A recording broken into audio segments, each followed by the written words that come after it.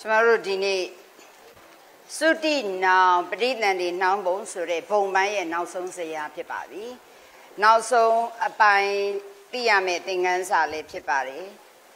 သုတိဆိုတာမြန်မာလိုပြောရင်သိခြင်းပါပဲသုတိနောင်ဆိုတဲ့ကြောင့်သုတိနောင်သိခြင်းဘဝတစ်ခုရဲ့အဆုံးသက်သိခြင်းပြီးသွားတဲ့နောက်မှာ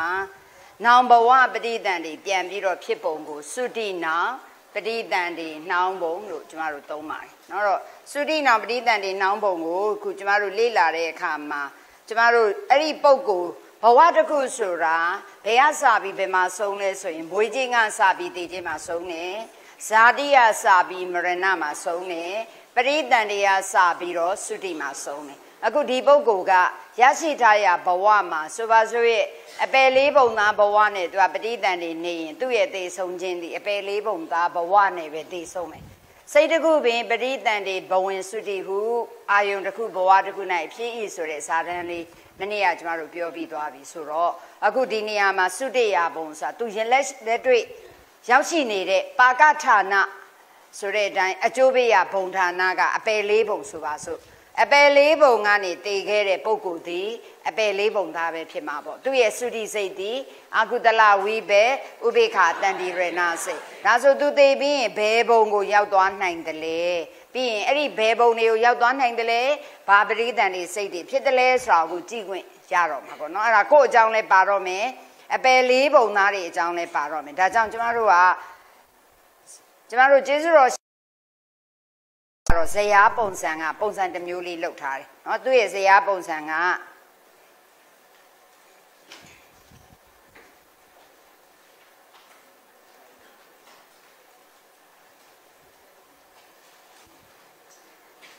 ဇရာပုံစံအနေနဲ့ကျမတို့ကြည့်တဲ့အခါသုတိနောင်ပဋိသန္ဓေနှောင်းပုံဇရာလေးသည်ဆရာတော်ဖရာရဲ့ရေးထားတဲ့ပုံစံသည်လွယ်ကူအောင်ဆိုပြီးဆရာတော်ကတော့ရေးထားတာပေါ့နော်ရေးထားပေမဲ့ဓမ္မမိတ်ဆွေတို့ကျမတို့က မမြင်တာဖြစ်သွားတယ်။ဒါကြောင့်ဆရာတော်ဘုရားအရင်ဆုံးပါလို့ဆိုဘုံမသုတိဆိုတာအရင်ဆုံးစဒီဘက်တစ်ချမ်းက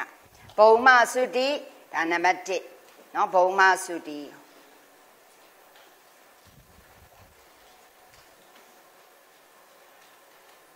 ဘုံမသုတိဒီနံပါတ်1ပြီးရင်ဘုံ၌ပဋိတန်ဒီဒီနံပါတ်2ကိုကြည့်ရတာเนาะဇရာပုံစံမှာအဲ့တော့ဘုံမသုတိဆိုတဲ့အတွက်ကြောင့် ဒီနေရာမှာသုတိယဘုံစာကိုအရင်ဆုံးကျမတို့ကကြည့်ရတယ်သုတိယဘုံဆိုတဲ့အတွက်ကြောင့်သေခဲ့ရဘုံเนาะသေခဲ့ရမြန်မာလိုပြောရင်သေခဲ့တဲ့ဘုံပေါ့သေခဲ့တဲ့ဘုံဒီအရင်ဆုံးခုကျမတို့ကြည့်ရနံပါတ်1မှာ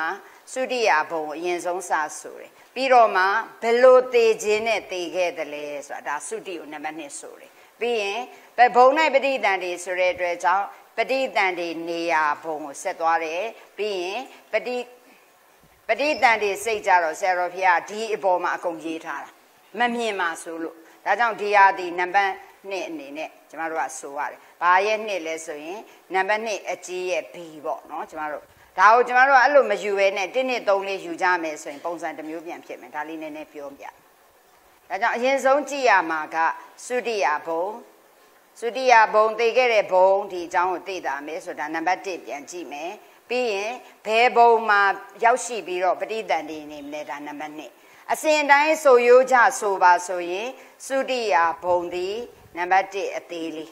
ပြီးရင်သုတိစိတ်ကိုဆိုရင်နံပါတ်2ဆိုမယ်ပြီးရင်ပဋိသန္ဓေနေရာဘုံကိုနံပါတ်3ဆိုမယ်ပြီးရင်ပဋိသန္ဓေ20ဒီနံပါတ်4ဆိုတယ်ဟုတ်တယ်လားဒါဒီလိုသွားမှာ1နှစ် 3 4ဒီပုံစံနဲ့သွားတယ်ဒါဆိုကျွန်တော်တို့စုယိုးမှာဆ iam တော်တန်းတန်းလွင်နဲ့ချထားတယ်အပယ်လေးဘုံလူဘုံ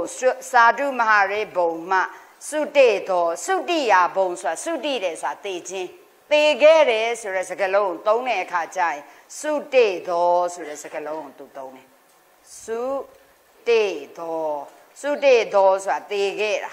နော်စုတေတော်ဘယ်ပုဂ္ဂိုလ်တွေလဲဆိုရင်ဒုက္ခတိအာဟိပုဂ္ဂိုလ် သူဂတိအာဟိပုဂ္ဂိုလ်နဲ့ဒွေပုဂ္ဂိုလ်လို့ပြောခြင်းတဲ့အတွက်သူဂတိဒုဂတိအာဟိဆိုအပယ်လေးပုံသားတို့ရဲ့ပဋိသန္ဓေစိတ်သူဂတိအာဟိဆိုလူချိုးလူကန်းနဲ့ချိုးနှံကန်းပြီးရင်ဒွေဟိဆိုတော့ညံမရှင်တဲ့လူတွေဘယ်ပုံတွေလဲကြည့်လိုက်တော့အပယ်လေးပုံသားဆိုရင်ဒုဂတိအာဟိနဲ့ပဲဆိုင်ပါပေါ့ဟုတ်လားရှင်ပြီးရင်လူပုံနဲ့စာတုမဟာရိဘုံမှာကြရင်လူချိုးလူကန်းနဲ့ကျိုးနဲ့ကန်းသူကတိအာကြီးဖြစ်မှာပေါ့ပြီးရင်ဘာရှိမလဲဆိုရင်ဉာဏ်မရှင်နဲ့တွေးဟိတ်တယ် အဲ့ဒီပုံကိုယ်တွေအားလုံးသိသွားလို့ရှိရင်ရောက်ရှိရာဘုံဆိုဒီဘက်ကိုသွားလိုက်တော့ပဋိသန္ဓေနေရာဘုံကကာမစက်တဘုံ၌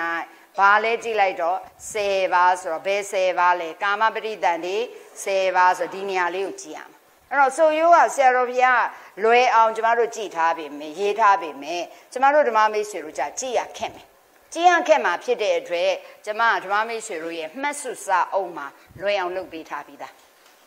အဲ့တော့မှတ်စုစာအုပ်မှာစာမျက်နှာ104တွေ့လားရှင်သုတိနောင်ပဋိသန္ဓေနှောင်းဘုံဆိုပြီးတော့အဲ့ဒီမှာပါပြီးသားအဲ့ဒီမှာသုတေယဘုံတွေ့လားရှင်သုတေယဘုံဆိုတာမြန်မာစကားနဲ့ပြောရင်တေခဲ့ရဘုံပေါ့ပြီးရင်အဲ့ဒီမှာတေတဲ့စိတ်ကလေးရေးတယ်အဲ့တော့တေတဲ့စိတ်ဒီဘာစိတ်လဲသုတိစိတ်ပေါ့သုတိစိတ်ဒီဘာစိတ်နဲ့အတူတူပဲလဲဆိုကျမတို့တခြားချက်စရာမလိုသုတိစိတ်ဆိုတာပဋိသန္ဓေစိတ်နဲ့အတူတူပဲမဟုတ်ဘူးလား အဲ့တော့ဘဝတခုမှာပဲပဋိသန္ဓေစိတ်ဘဝင်သုတိစိတ်တွေတူတယ်ဆိုတော့ပဋိသန္ဓေစိတ်ကကြက်ခဲ့ပြီးပြီဆိုရင်ဘဝင်စိတ်လို့ပြောလဲဒါပဲဖြစ်မယ်အခုကျမတို့ကဘဝင်စိတ်အကြောင်းမပြောသေတာကိုပြောမှာဆိုတော့သုတိစိတ်ဒါကြောင့်သုတယဘုံပြီးရင်သုတိစိတ်ပြီးရင်ပဋိသန္ဓေနေရာဘုံပဋိသန္ဓေစိတ်ဆိုတော့ပဋိသန္ဓေစိတ်ပေါင်းဘယ်လောက်ရှိလဲပဋိသန္ဓေပေါင်းဘယ်လောက်ရှိလဲဆိုတော့20ဆိုရင်သုတိပေါင်းလည်း20ပေါ့ဟုတ်ပြီနော်ဒါကိုကျမတို့က အဲ့ဒါလေးကိုကျင့်မယ်ဒါကြောင့်ဒီမှာသုတိစိတ်လို့ရေးပေမဲ့ဒီထဲမှာရုပ်တွေလည်းပါအောင်မှာဆိုတော့ကျမတို့ကသုတိစိတ်အထသာသုတိလို့ရေးတာပိုကောင်းတယ်ရမယ်ဆိုရင်အဲ့စိတ်ကလေးကိုဖြတ်လိုက်မြင်လားယင်သုတိစိတ်ကိုစိတ်ကိုဖြတ်လိုက်ပြီးရင်အဲ့ဒီစိတ်ကနေရာမှာလက်သေးကွင်းနဲ့20လို့ရေးလိုက်ရမလားရမယ်နော်ဒါဆိုရင်သုတေယဘုံရဲ့သုတိက20ဟုတ်လားသုတေယဘုံဆိုရင်ဘုံဘယ်လောက်လဲဟုတ် ဘုံ31ရှိမှာပေါ့ဟုတ်ပြီနော်ဒါသိရမယ်နောက်တစ်ချက်ပဋိသန္ဓေနေရာဘုံဆိုရင်ပဋိသန္ဓေဘောင်းကဘယ်လောက်ရှိမလဲအဲပဋိသန္ဓေနေရာဘုံဘုံဘုံဘုံပဋိသန္ဓေနေရာဘုံဆိုလဲ31ပဲပေါ့ပြီးရင်ပဋိသန္ဓေစိတ်ဆိုရင်စိတ်ကိုဖယ်လိုက်20အဲ့ဒါဆိုပို့လွှဲသွားပြီအခုကျမတို့ကဆရာတော်ဘုရားကပေါင်းပြီးတော့မျိုးတူကိုပေါင်းရေးထားတယ်အခုကျမတို့ကပေါင်းမရေးပဲနဲ့ခွဲရေးထားတယ်တွေ့သလားဒါကြောင့်ဒီမှာကြည့်ရင်အပယ်လေးဘုံတွေ့လား ဇယားတွေ့လားမဆုရိယဇယားကြည့်အပယ်လေးဘုံမှစုတေတော်စုတေတော်ပေါ့ကိုယ့်ကိုစာလေးဖြင့်အပယ်လေးဘုံကစုရိယဘုံဆိုမှအပယ်လေးပုံရဲ့အောက်မှာမှားလေးရေးလိုက်မယ်တွေ့လားပြီးရင်ပါလဲစုတေတော်စုတေတော်ပေါ့တည်ခဲ့တာလို့ဆိုလိုတာပေါ့နော်ဒါကိုကျမတို့က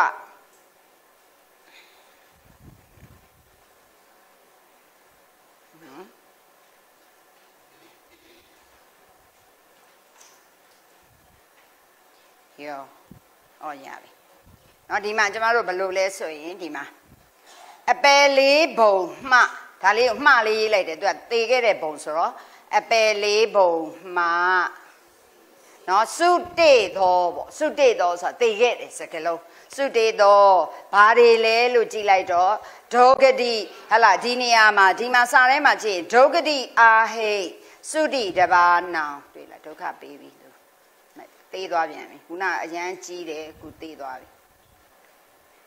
ဒုဂတိအာဟိစုတိတဘာနောင်သုတိတပားနောင်ဆိုတော့နောင်စာသုတိစိတ်နဲ့တည်ခဲ့တဲ့နေရာမှာဒီနေရာမှာတကယ်ဆိုရင်ဒါသုတိစိတ်ဆိုရင်အတင်ညတတ်တွေဘာတွေကြာပါမှာဆိုသုတိစိတ်မရေးတော့ဘူးဒီမှာလေပဋိသန္ဓေစိတ်မရေးတော့ဘူးเนาะဒါဆိုသိမယ်ဒါကြောင့်ဒုက္ခတိအဟိသုတိတပားနောင်လို့ကျမတို့ကဆိုရိုးကြဆိုလိုက်တယ် အပယ်လေးဘုံမသုတေသောဒုက္ခတိအာဟိသုတိတပားနောင်သေသွားရင်ဘယ်ကိုရောက်နိုင်လဲဆိုရင်ကာမစက်တဘုံ၌သေသွားတဲ့နေရာဆိုဘုံဆိုတဲ့အတွက်ကြောင့်ကျမတို့ကဒီမှာနေရာလေးကိုပြတဲ့အတွက်ကြောင့်နှိုက်ကလေးထည့်လိုက်တယ်အပေကာမစက်တဘုံ၌ကာမပရိတန်တေစေပါနှောင်းဤဆိုရကြဆိုရင်ဒါလေးပဲတစ်ကြောင်ပဲ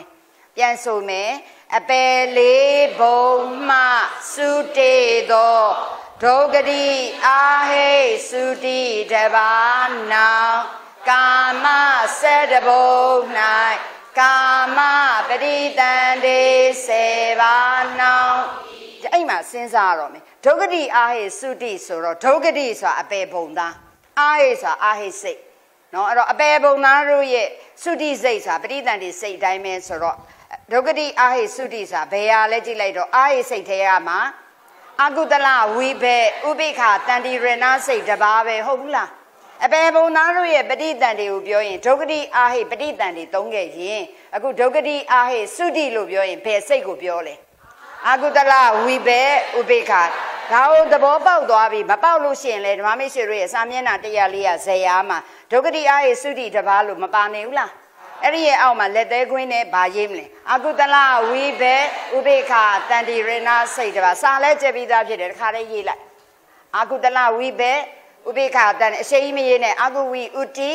စိတ်တပါဟုတ်လားဒါသည်ပင်လေဒုက္ခတိအာဟိသုတိဆိုတာဒုက္ခတိအာဟိပဋိတန်တိအတိုင်းအကုတလဝိဘေဥပိ္ပခတန်တိရဏမဟုတ်လားဘိဓမ္မာရဘလို့ကြက်ခဲ့ရလဲဇရာတော့ပထမဆစွာဥမှာ အပယ်လေးဘုံသားတို့သည်အကုတလဝိဘေဥပိ္ပခတန်တိရဏစိတ်တပါးနဲ့ပဋိတန်တိနေရင်အပယ်လေးဘုံသားတို့ရဲ့တေတဲ့စိတ်ကလည်းဒါပဲမဟုတ်လားဒါဆိုရင်အဲ့ဒီဟာကိုပဋိတန်တိစိတ်စာအပယ်လေးဘုံသားတို့သည်အကုတလဝိဘေဥပိ္ပခတန်တိရဏစိတ်ဖြင့်စုတိကြတယ်ပေါ့တေကြအင်းနဲ့တူတူပဲမဟုတ်ဘူးလားဒါဆိုရင်အပယ်လေးဘုံမှစုတိတော်ဆိုတာတေခဲ့တာ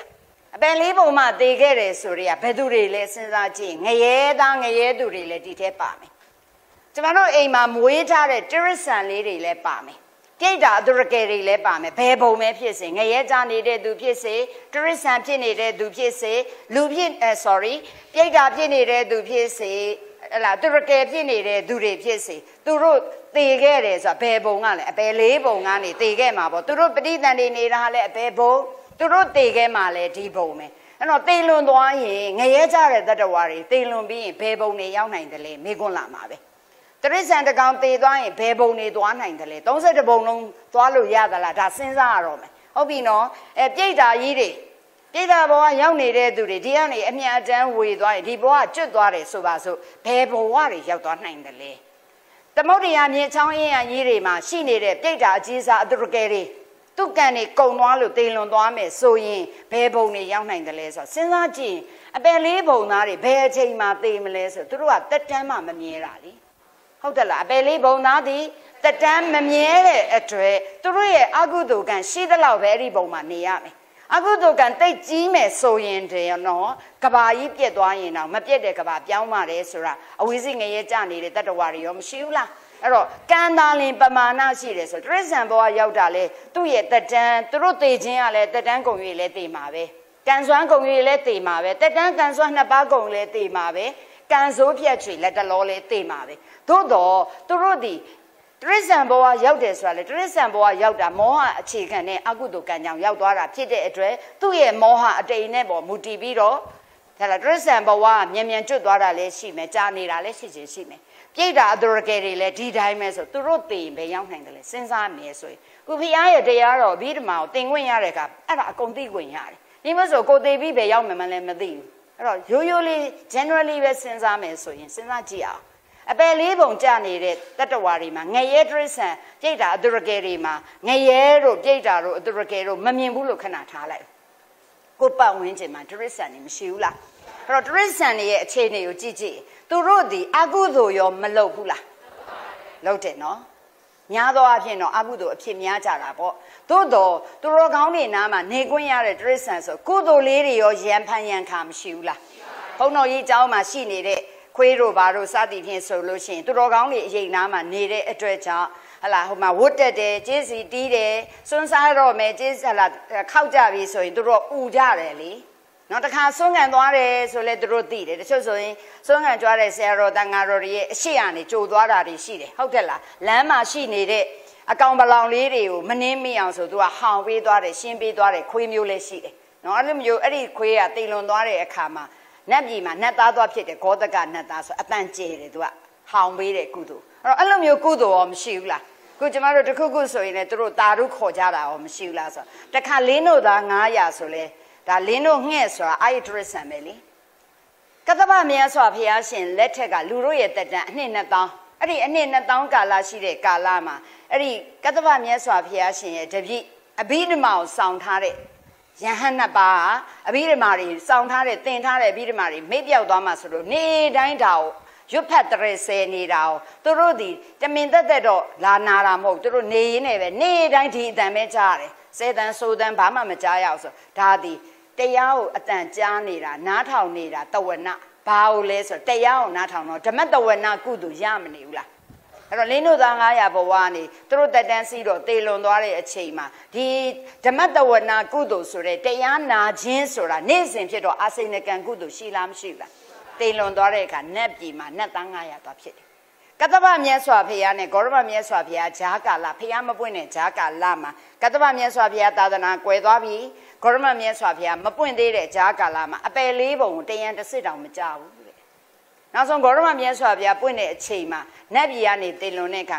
ကတ္တဗဂေါရမမြတ်စွာဘုရားပွင့်တဲ့အချိန်မှာတာဝတိပြည်မှာအမျိုးကောင်းသား900လာဖြစ်တယ်ဆိုတာကြားဘူးဝင်ဒါဆိုရင်လင်းတို့သားဘဝရောက်နေတဲ့အချိန်မှာအကုသို့လုံရင်လည်းလုံမယ်မလုံခွင့်မရပဲကုသို့လုံတာအောင်မရှိဘူးလား ဒါဆိုရင်အဲ့ဒီဟာလေးကိုတာရကကြည့်ပြီးတော့ကိုယ်ပတ်ဝန်းကျင်မှာရှိနေတဲ့တရစ္ဆာန်လေးတွေကြည့်မယ်ဆိုတချို့ဆိုရင်အိမ်မှာပဋ္ဌာန်းပူဇော်နေတယ်ဆိုအနားမှာလာထိုင်နေတဲ့ကြောင်လေးတွေရောမရှိဘူးလားအနေတိုင်းတရားတန်တွေကြားနေရတာလေသူတို့ရှိကြမယ်ဆိုသူတို့ရဲ့ life မှာ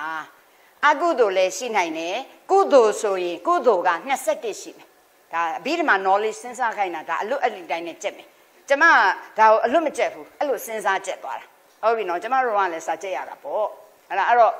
အဲ့ဒီဟာဆိုရင်ကုသိုလ်က21ရှိတဲ့အထဲမှာကာမကုသိုလ်8ရူပကုသိုလ်9အရူပကုသိုလ်4လောကုတ္တရာကုသိုလ်4ထဲမှာလောကုတ္တရာကုသိုလ်ဆိုတာမဲ့မဲ့ဆိုတဲ့လောကုတ္တရာကုသိုလ်ဒီအပယ်လေးပုံသာဘယ်ရပါမလဲ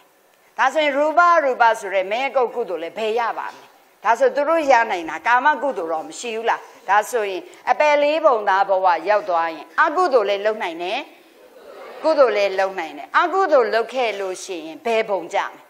အပယ်လေးပုံကြရင်အပယ်လေးပုံသားတို့ရဲ့ပဋိတန်တရားအကုတလဝိဘေဥပိ္ခတန်တိရဏစိတ်တပါဆိုတော့စာလို့ပြောရင်ဒုက္ခတိအာဟိပဋိတန်တိရောမဖြစ်နိုင်ဘူးလားတခါသူလုပ်တဲ့ကာမကုသိုလ်မှာလေကာမကုသိုလ်ဆိုတာကုသိုလ်ရဲ့တဘာဝဓမ္မတဘာဝသည်ဘယ်သူမှမျက်နှာမလိုက်ဘူးအပယ်လေးပုံသားဘဝမှာရနေတဲ့ကုသိုလ်မှာလေတိယဥက္ကဋ္ဌလည်းရှိနိုင်တာပဲအပယ်လေးပုံသားမို့လို့တိယဥက္ကဋ္ဌတော့မဖြစ်နိုင်ဘူးဆိုပြောလို့မရအောင် သူတို့မှလည်းတိယဥက္ကဋ္ဌကုသိုလ်တွေရောမရှိဘူးလားဖယားအလောင်းသူတော်ကောင်းတွေဟလာအိုက်ဒရစ်ဆန်ဘဝရောက်သွားတဲ့အချိန်မျိုးမှာအလောင်းတော်မြောင်မင်းတို့ဘာလို့ဆိုရင်လုပ်တဲ့ကုသိုလ်ဒီတန်မန်လူတွေတောင်မလုံနိုင်တဲ့တိယဥက္ကဋ္ဌကုသိုလ်မျိုးတွေရှိလားမရှိဘူးလားသူ့ရဲ့အမျိုးအမျိုးသားတွေမြောက်လေးတွေဒုက္ခရောက်မှာဆိုတဲ့ကြောင့်ဒီဘက်ကန်းကနေဟိုဘက်ကန်းကိုရအောင်ခုံကူးဟလာကျိုးကိုရှာရှာပြီးလို့ရှိရင်ဟိုဘက်ကတစ်ပေမှာချီဒုက္ခမှာတစ်ဖက်ချီပြီးဒီဘက်ကန်းကိုခုံကူးခုံကူးပြီးတော့မှမမီတဲ့အခါကျတော့ သူ့ခါမှာရှိတဲ့အတိုင်းတာကိုမတွက်မိလိုက်တဲ့အခါကျတော့မမီတော့သူ့လက်နဲ့ဒီတစ်ပင်ကိုရအောင်ဆွဲထားပြီးတဲ့အခါမှာအဲ့ဒီတစ်ကတစ်ပင်တရက်ပင်ပေါ်မှာရှိတဲ့ဟလာအကုန်လုံးမြောက်900သူ့တပည့်တွေအကုန်လုံးသူ့ကြောပေါ်ကိုနင်းပြီးတော့ဒီကြိုးတန်းနဲ့ဟိုဘက်ကန်းကိုလွတ်ခိုင်းတယ်ဒီအချိန်မှာဗာရာဏသီပြည့်ရှင်ကလည်းဒီမြောက်တွေစားနေတဲ့အပင်ဒီတရက်ပင်ကအင်မတန်ချုံမြိန်တာဖြစ်တဲ့အတွက်ကြောင့် အဲ့ဒီအသီးကိုသူလိုချင်တဲ့အတွက်အဲ့ဒီအပေါ်မှာရှိတဲ့မြောက်တွေအကုန်လုံးသူ့ရဲ့မင်းချင်းတွေကလေးနဲ့ချိန်ထားပြီးပြီချိန်ထားပြီးပြီဆိုရင်အကုန်သေရတော့မှာဒါပေမဲ့အဲ့ဒီမြောက်ကြီးရဲ့ထူးထူးဆန်းဆန်းခန္ဓာကိုယ်လည်းအင်အားကြီးမားတယ်ခေါင်းဆောင်လို့လည်းထင်ရတဲ့မြောက်ကြီးကအဲ့လိုထူးထူးဆန်းဆန်းလောက်တာကြောင့်အလုံးကိုတားထားတယ်မပြစ်တတ်ခိုင်းနဲ့စောင့်ကြည့်နေတဲ့ချိန်မှာဘာလုပ်လဲဟိုဘက်ကန်းကိုကူသွားတယ်ဟိုဘက်မှာကြိုးချတယ်မြင်နေရတယ်ဟိုဘက်ကန်းနဲ့ဒီဘက်ကန်းအဲ့ဒီချိန်မှာဒီဘက်မှာလည်းလှုပ်ပြီးသူ့ကိုပေါ်ကနင်းခိုင်းတော့အားလုံးမြောက်တွေကရိုးရိုးသေးသေးနဲ့ ဂါရဝပြုတ်ပြီးတော့မှအဲ့ဒီမြောက်ကြီးရဲ့အပေါ်မှာမနာမကျင်အောင်ဖြည်းဖြည်းဆင်းပြီးတော့ကြောပေါ်မရွတ်မရဲနဲ့နင်းသွားပြီးတော့မှသွားကြတော့အဲ့ဒီကျိုးထဲမှာမြောက်ကအကောင်20လောက်သွားရင်အကောင်20စာဝိတ်ကိုသူ့ခါမှာခြိထားတဲ့ကျိုးနဲ့တင်းနေအောင်သူခံရလားမခံဘူးသို့တော့သူ့လက်ကိုမလှုပ်အဲ့ဒီအချိန်မှာအရှင်ဒေဝရအလောင်းမြောက်မင်းကတော့ဒီမြောက်ကြီးပြီးရင် तू ကဒီနေရာရမှာဆိုတော့ဒီမြောက်ကြီးမြန်မြန်သေးပါစေဆိုတဲ့စိတ်နဲ့အသေးတောင်းတပြပါတာပဲလေ။ तू ရွယ်ကုန်တဲ့ဘဝရဲ့ရန်ညှိုး ရှိနေတော့ဗျာပါဒဆိုတာဟလာပျက်စီးစေခြင်းနဲ့အသေးတောင်းတတဲ့အတွက် तू ကအမြင့်ဆုံးကိုင်းကိုခုံတက်ပြီးတော့မှအားနဲ့ခုံချလိုက်တဲ့အချိန်မှာ तू ခုံချတဲ့ဝိတ်ကြောင့်ဒီမှာဖျားလောင်းတော့မြောက်မင်းကကြောမှရှိတဲ့အဆုတ်တွေပါတယ်အကုန်လုံးလဲကွဲရင်တွေပါတယ်အကုန်ကွဲပြီးတော့အထဲမှာတွေသွေးတွေယိုစီးပြီးတော့တကယ်ဆိုလွတ်ချလိုက်ရင်ဟိုက်မှာတွဲလောင်းတဲ့ကျိုးတန်းပေါ်မှာရှောက်နေတဲ့သားငယ်လေးတွေရင်မှာပိုက်ထားတဲ့မြောက်အမေတွေလည်းပါတယ်။ အိုမေးမစွမ်းဖြစ်နေတဲ့မြောက်ကြီးတွေလည်းပါတဲ့ခါမှာအလုံးရဲ့အသက်ကို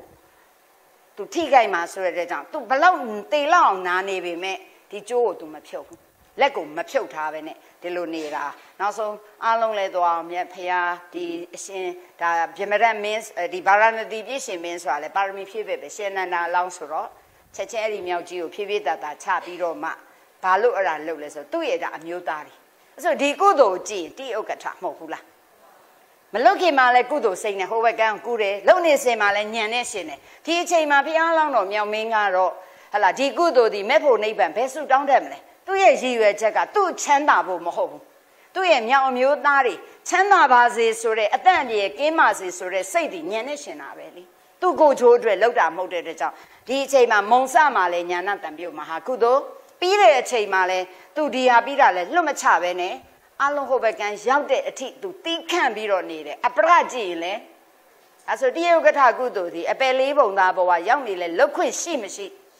ဒါကြောင့်အပယ်လေးပုံသားဘဝမှာအကုသိုလ်ကြီးပဲလို့ပြောလို့မရဘူးတရုတ်ကထကုသိုလ်မျိုးလဲရှိရင်ဥက္ကဋ္ဌဆိုထက်တူအကျိုးပေးဆိုတော့ဟိုဘက်မှာလူဘယ်ကိုရောက်နိုင်လဲကာမကုသိုလ်ဖြစ်တဲ့အတွက်ကြောင့်လူတော်၎င်းနတ်ပြည်6ထက်တော်၎င်းကာမတုဂရိ9ပုံရောက်နိုင်မရောက်နိုင်ဒါဆိုရင်အဲ့ဒီလိုပုံကုမျိုးကြရင်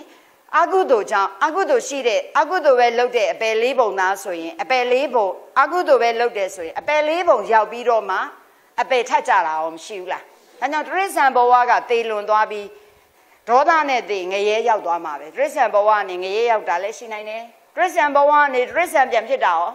ရှိနိုင်တယ်တရိစ္ဆာန်ဘဝကနေပြိတ္တာသူရကေရောဖြစ်နိုင်တာပဲဆိုတော့အပယ်လေးပုံကသေပြီးအကုသိုလ်လုပ်ရင်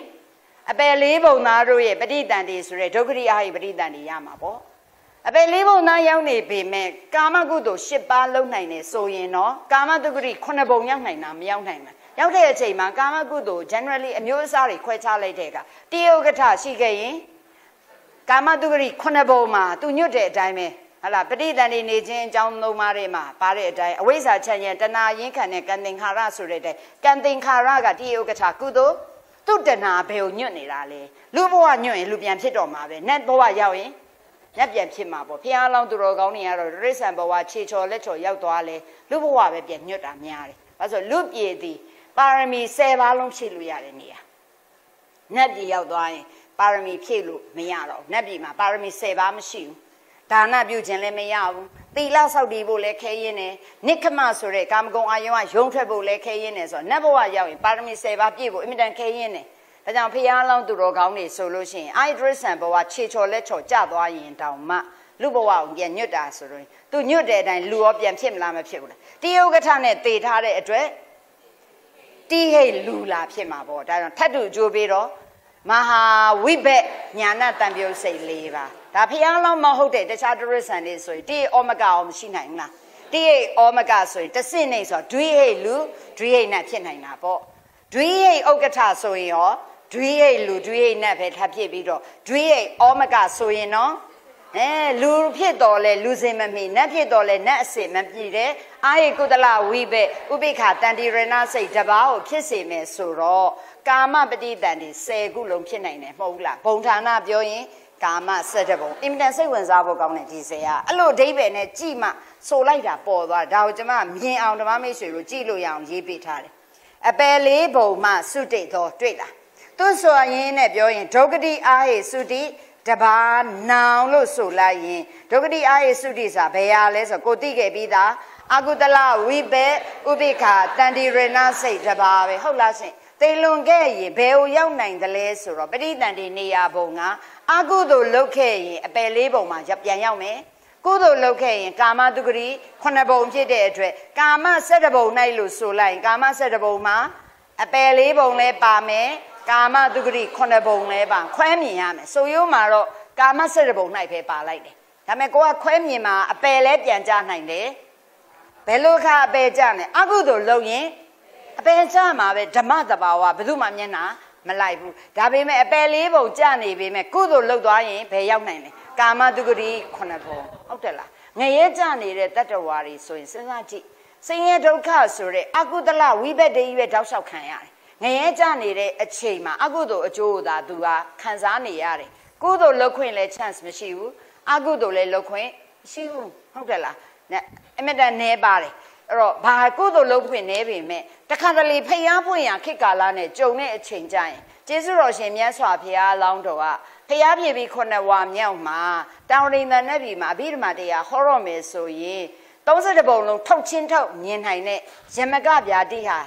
တကိုးကိုပြပြီးတော့မှနတ်ပြည်ကိုနှစ်လန်းသုံးဖောကနေတက်ကြွချီသွားတဲ့အချိန်မှာငရဲသားငရဲသူတွေလည်းဘယ်ဘာကိုဖူးခွင့်ရလဲမြတ်စွာဘုရားဖူးခွင့်ရရင်အဲ့ဒီဖူးတဲ့ကုသိုလ်သူတို့ရသွားတာပဲ အဲ့ဒီအချိန်မှာငရဲမိတွေခဏငြိမ်းသွားတယ်အဲ့ဒီအချိန်မှာဒကြင်ရှိုထားတဲ့ငရဲသားငရဲသူဆိုတဲ့ဒကြင်တွေကျွတ်ထွက်သွားတယ်နော်အဲ့လိုမျိုးခိတ္တချမ်းသာလိုက်တဲ့အချိန်မှာဖျားဖူးခွင့်ရသွားတဲ့အတွက်ငရဲသားငရဲသူမှာအဲ့ဒီကုသိုလ်လေးကသူ့ရဲ့ငရဲမှာကြုံနေတဲ့ဆင်းရဲဒုက္ခတွေတက်တာသွားစေလွတ်သွားတာရောမရှိဘူးလားအဲ့ဒါဆိုဒီကုသိုလ်ကြောင့်ငရဲကြတဲ့တတ္တဝါလည်းလူနဲ့ဖြစ်နိုင်လားဖြစ်နိုင်တာပဲဟုတ်ပြီနော်ငရဲကြပြီမဲ့တွေ့တွေ့ဝေဝေဆိုတရစ္ဆာန်လည်းဖြစ်သွားနိုင်တာပဲ ငရဲမှာမှငရဲထက်ကြတာရောရှိနိုင်တာပဲဒါဆိုရင်ဟလာဒီနေရာမှာအပယ်လေးပုံရောက်လို့ရှိရင်တော့တဲ့ဘာလာမလဲဆိုရင်အပယ်လေးပုံသားတို့ရဲ့အကုတလဝိဘက်ဥပိ္ခတန်ဒါပဋိသန္ဓေအကြောင်းပြောတဲ့အတွက်ဒုက္ခတိအာဟိပဋိသန္ဓေတစ်ဟုတ်လားရှင်ပြီးရင်ကာမတုဂရိခုနှစ်ပုဒ်မှာဒွေဩမကကုသိုလ်လုပ်ခဲ့တာမျိုးဆိုရင်တော့ အာဟိကုတလဝိဘက်ဥပိ္ခတန္တိရဏဆိုတဲ့လူနဲ့ဆိုတဲ့တုဂရိဘုံရောက်ပြီမဲ့အာဟိစိတ်နဲ့ပဋိသန္ဓေနေတဲ့တုဂရိအာဟိပဋိသန္ဓေတစ်ဟုတ်လားဒွေဥက္ကဋ္ဌနဲ့ဒီဩမကတွေလုပ်ခဲ့မယ်ဆိုရင်မဟာဝိဘက်ညာဝိတ်လေးဆိုတဲ့ဒွိယပဋိတန်တွေ၄ပါးဟုတ်လားတိယဥက္ကဋ္ဌလှုပ်တဲ့သူဆိုရင်မဟာဝိဘက်ညာတန်ဆိုတဲ့တိယပဋိတန်တွေ၄ပါး ပေါင်းလိုက်လို့ရှိရင်ဒီမှာကဥပိ္ပခာအကုသလဝိဘက်ဥပိ္ပခာတန်တိရဏတိအာဟိကုသလဝိဘက်ဥပိ္ပခာတန်တိရဏတိဆိုဥပိ္ပခာတန်တိရဏစိတ်က2ပါးမာဝိဘက်ညာဝေလေးနဲ့ညာတန်လေးဆိုတော့ရှစ်ပေါင်းလိုက်ရင်10ပါဘာလဲကာမ7ဘုံမှာဖြစ်တဲ့အတွက်ကာမပဋိတန်တွေ10ပါနှောင်းယူလို့ကြည့်ရင်ရလားမရဘူးအဲ့ဒါလေးကိုကိုကမမြင်ရင်ဒီမှာကိုကကိုဒီမှာကြည့်လိုက်ရင် ဒီမှတ်စုစာအုပ်မှာဖြည့်လို့ရတာပေါ့မှတ်စုစာအုပ်မှာ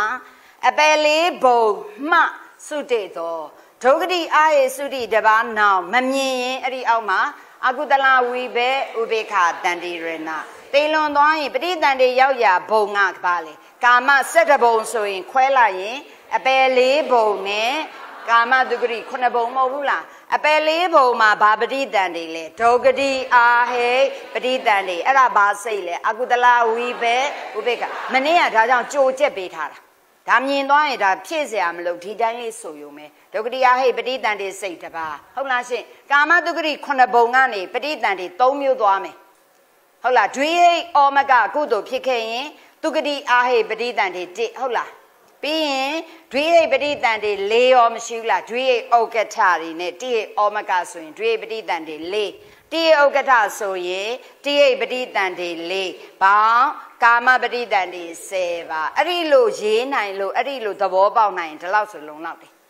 တကယ်လို့မမြင်ရင်ဒုက္ခတိအာဟိပဋိတန်တေဆိုတာဘာလဲဟိုအခြေအောက်ခြေပြန်ဆင်းရင်ဒုက္ခတိအာဟိပဋိတန်တေဆိုတာဘာလဲအကုတလဝိဘေဥပိခာတန် စိတ်တပါဒုက္ခတိအာဟိပဋိတန်တေဆိုတာအာဟိကုတလဝိဘေဥပိခာတန်တိရဏစိတ်တပါဒွိဟိပဋိတန်တေဆိုသည်မှာတိဟိပဋိတန်တေဆိုသည်မှာပေါင်းလိုက်ရင်ကာမပဋိတန်တေ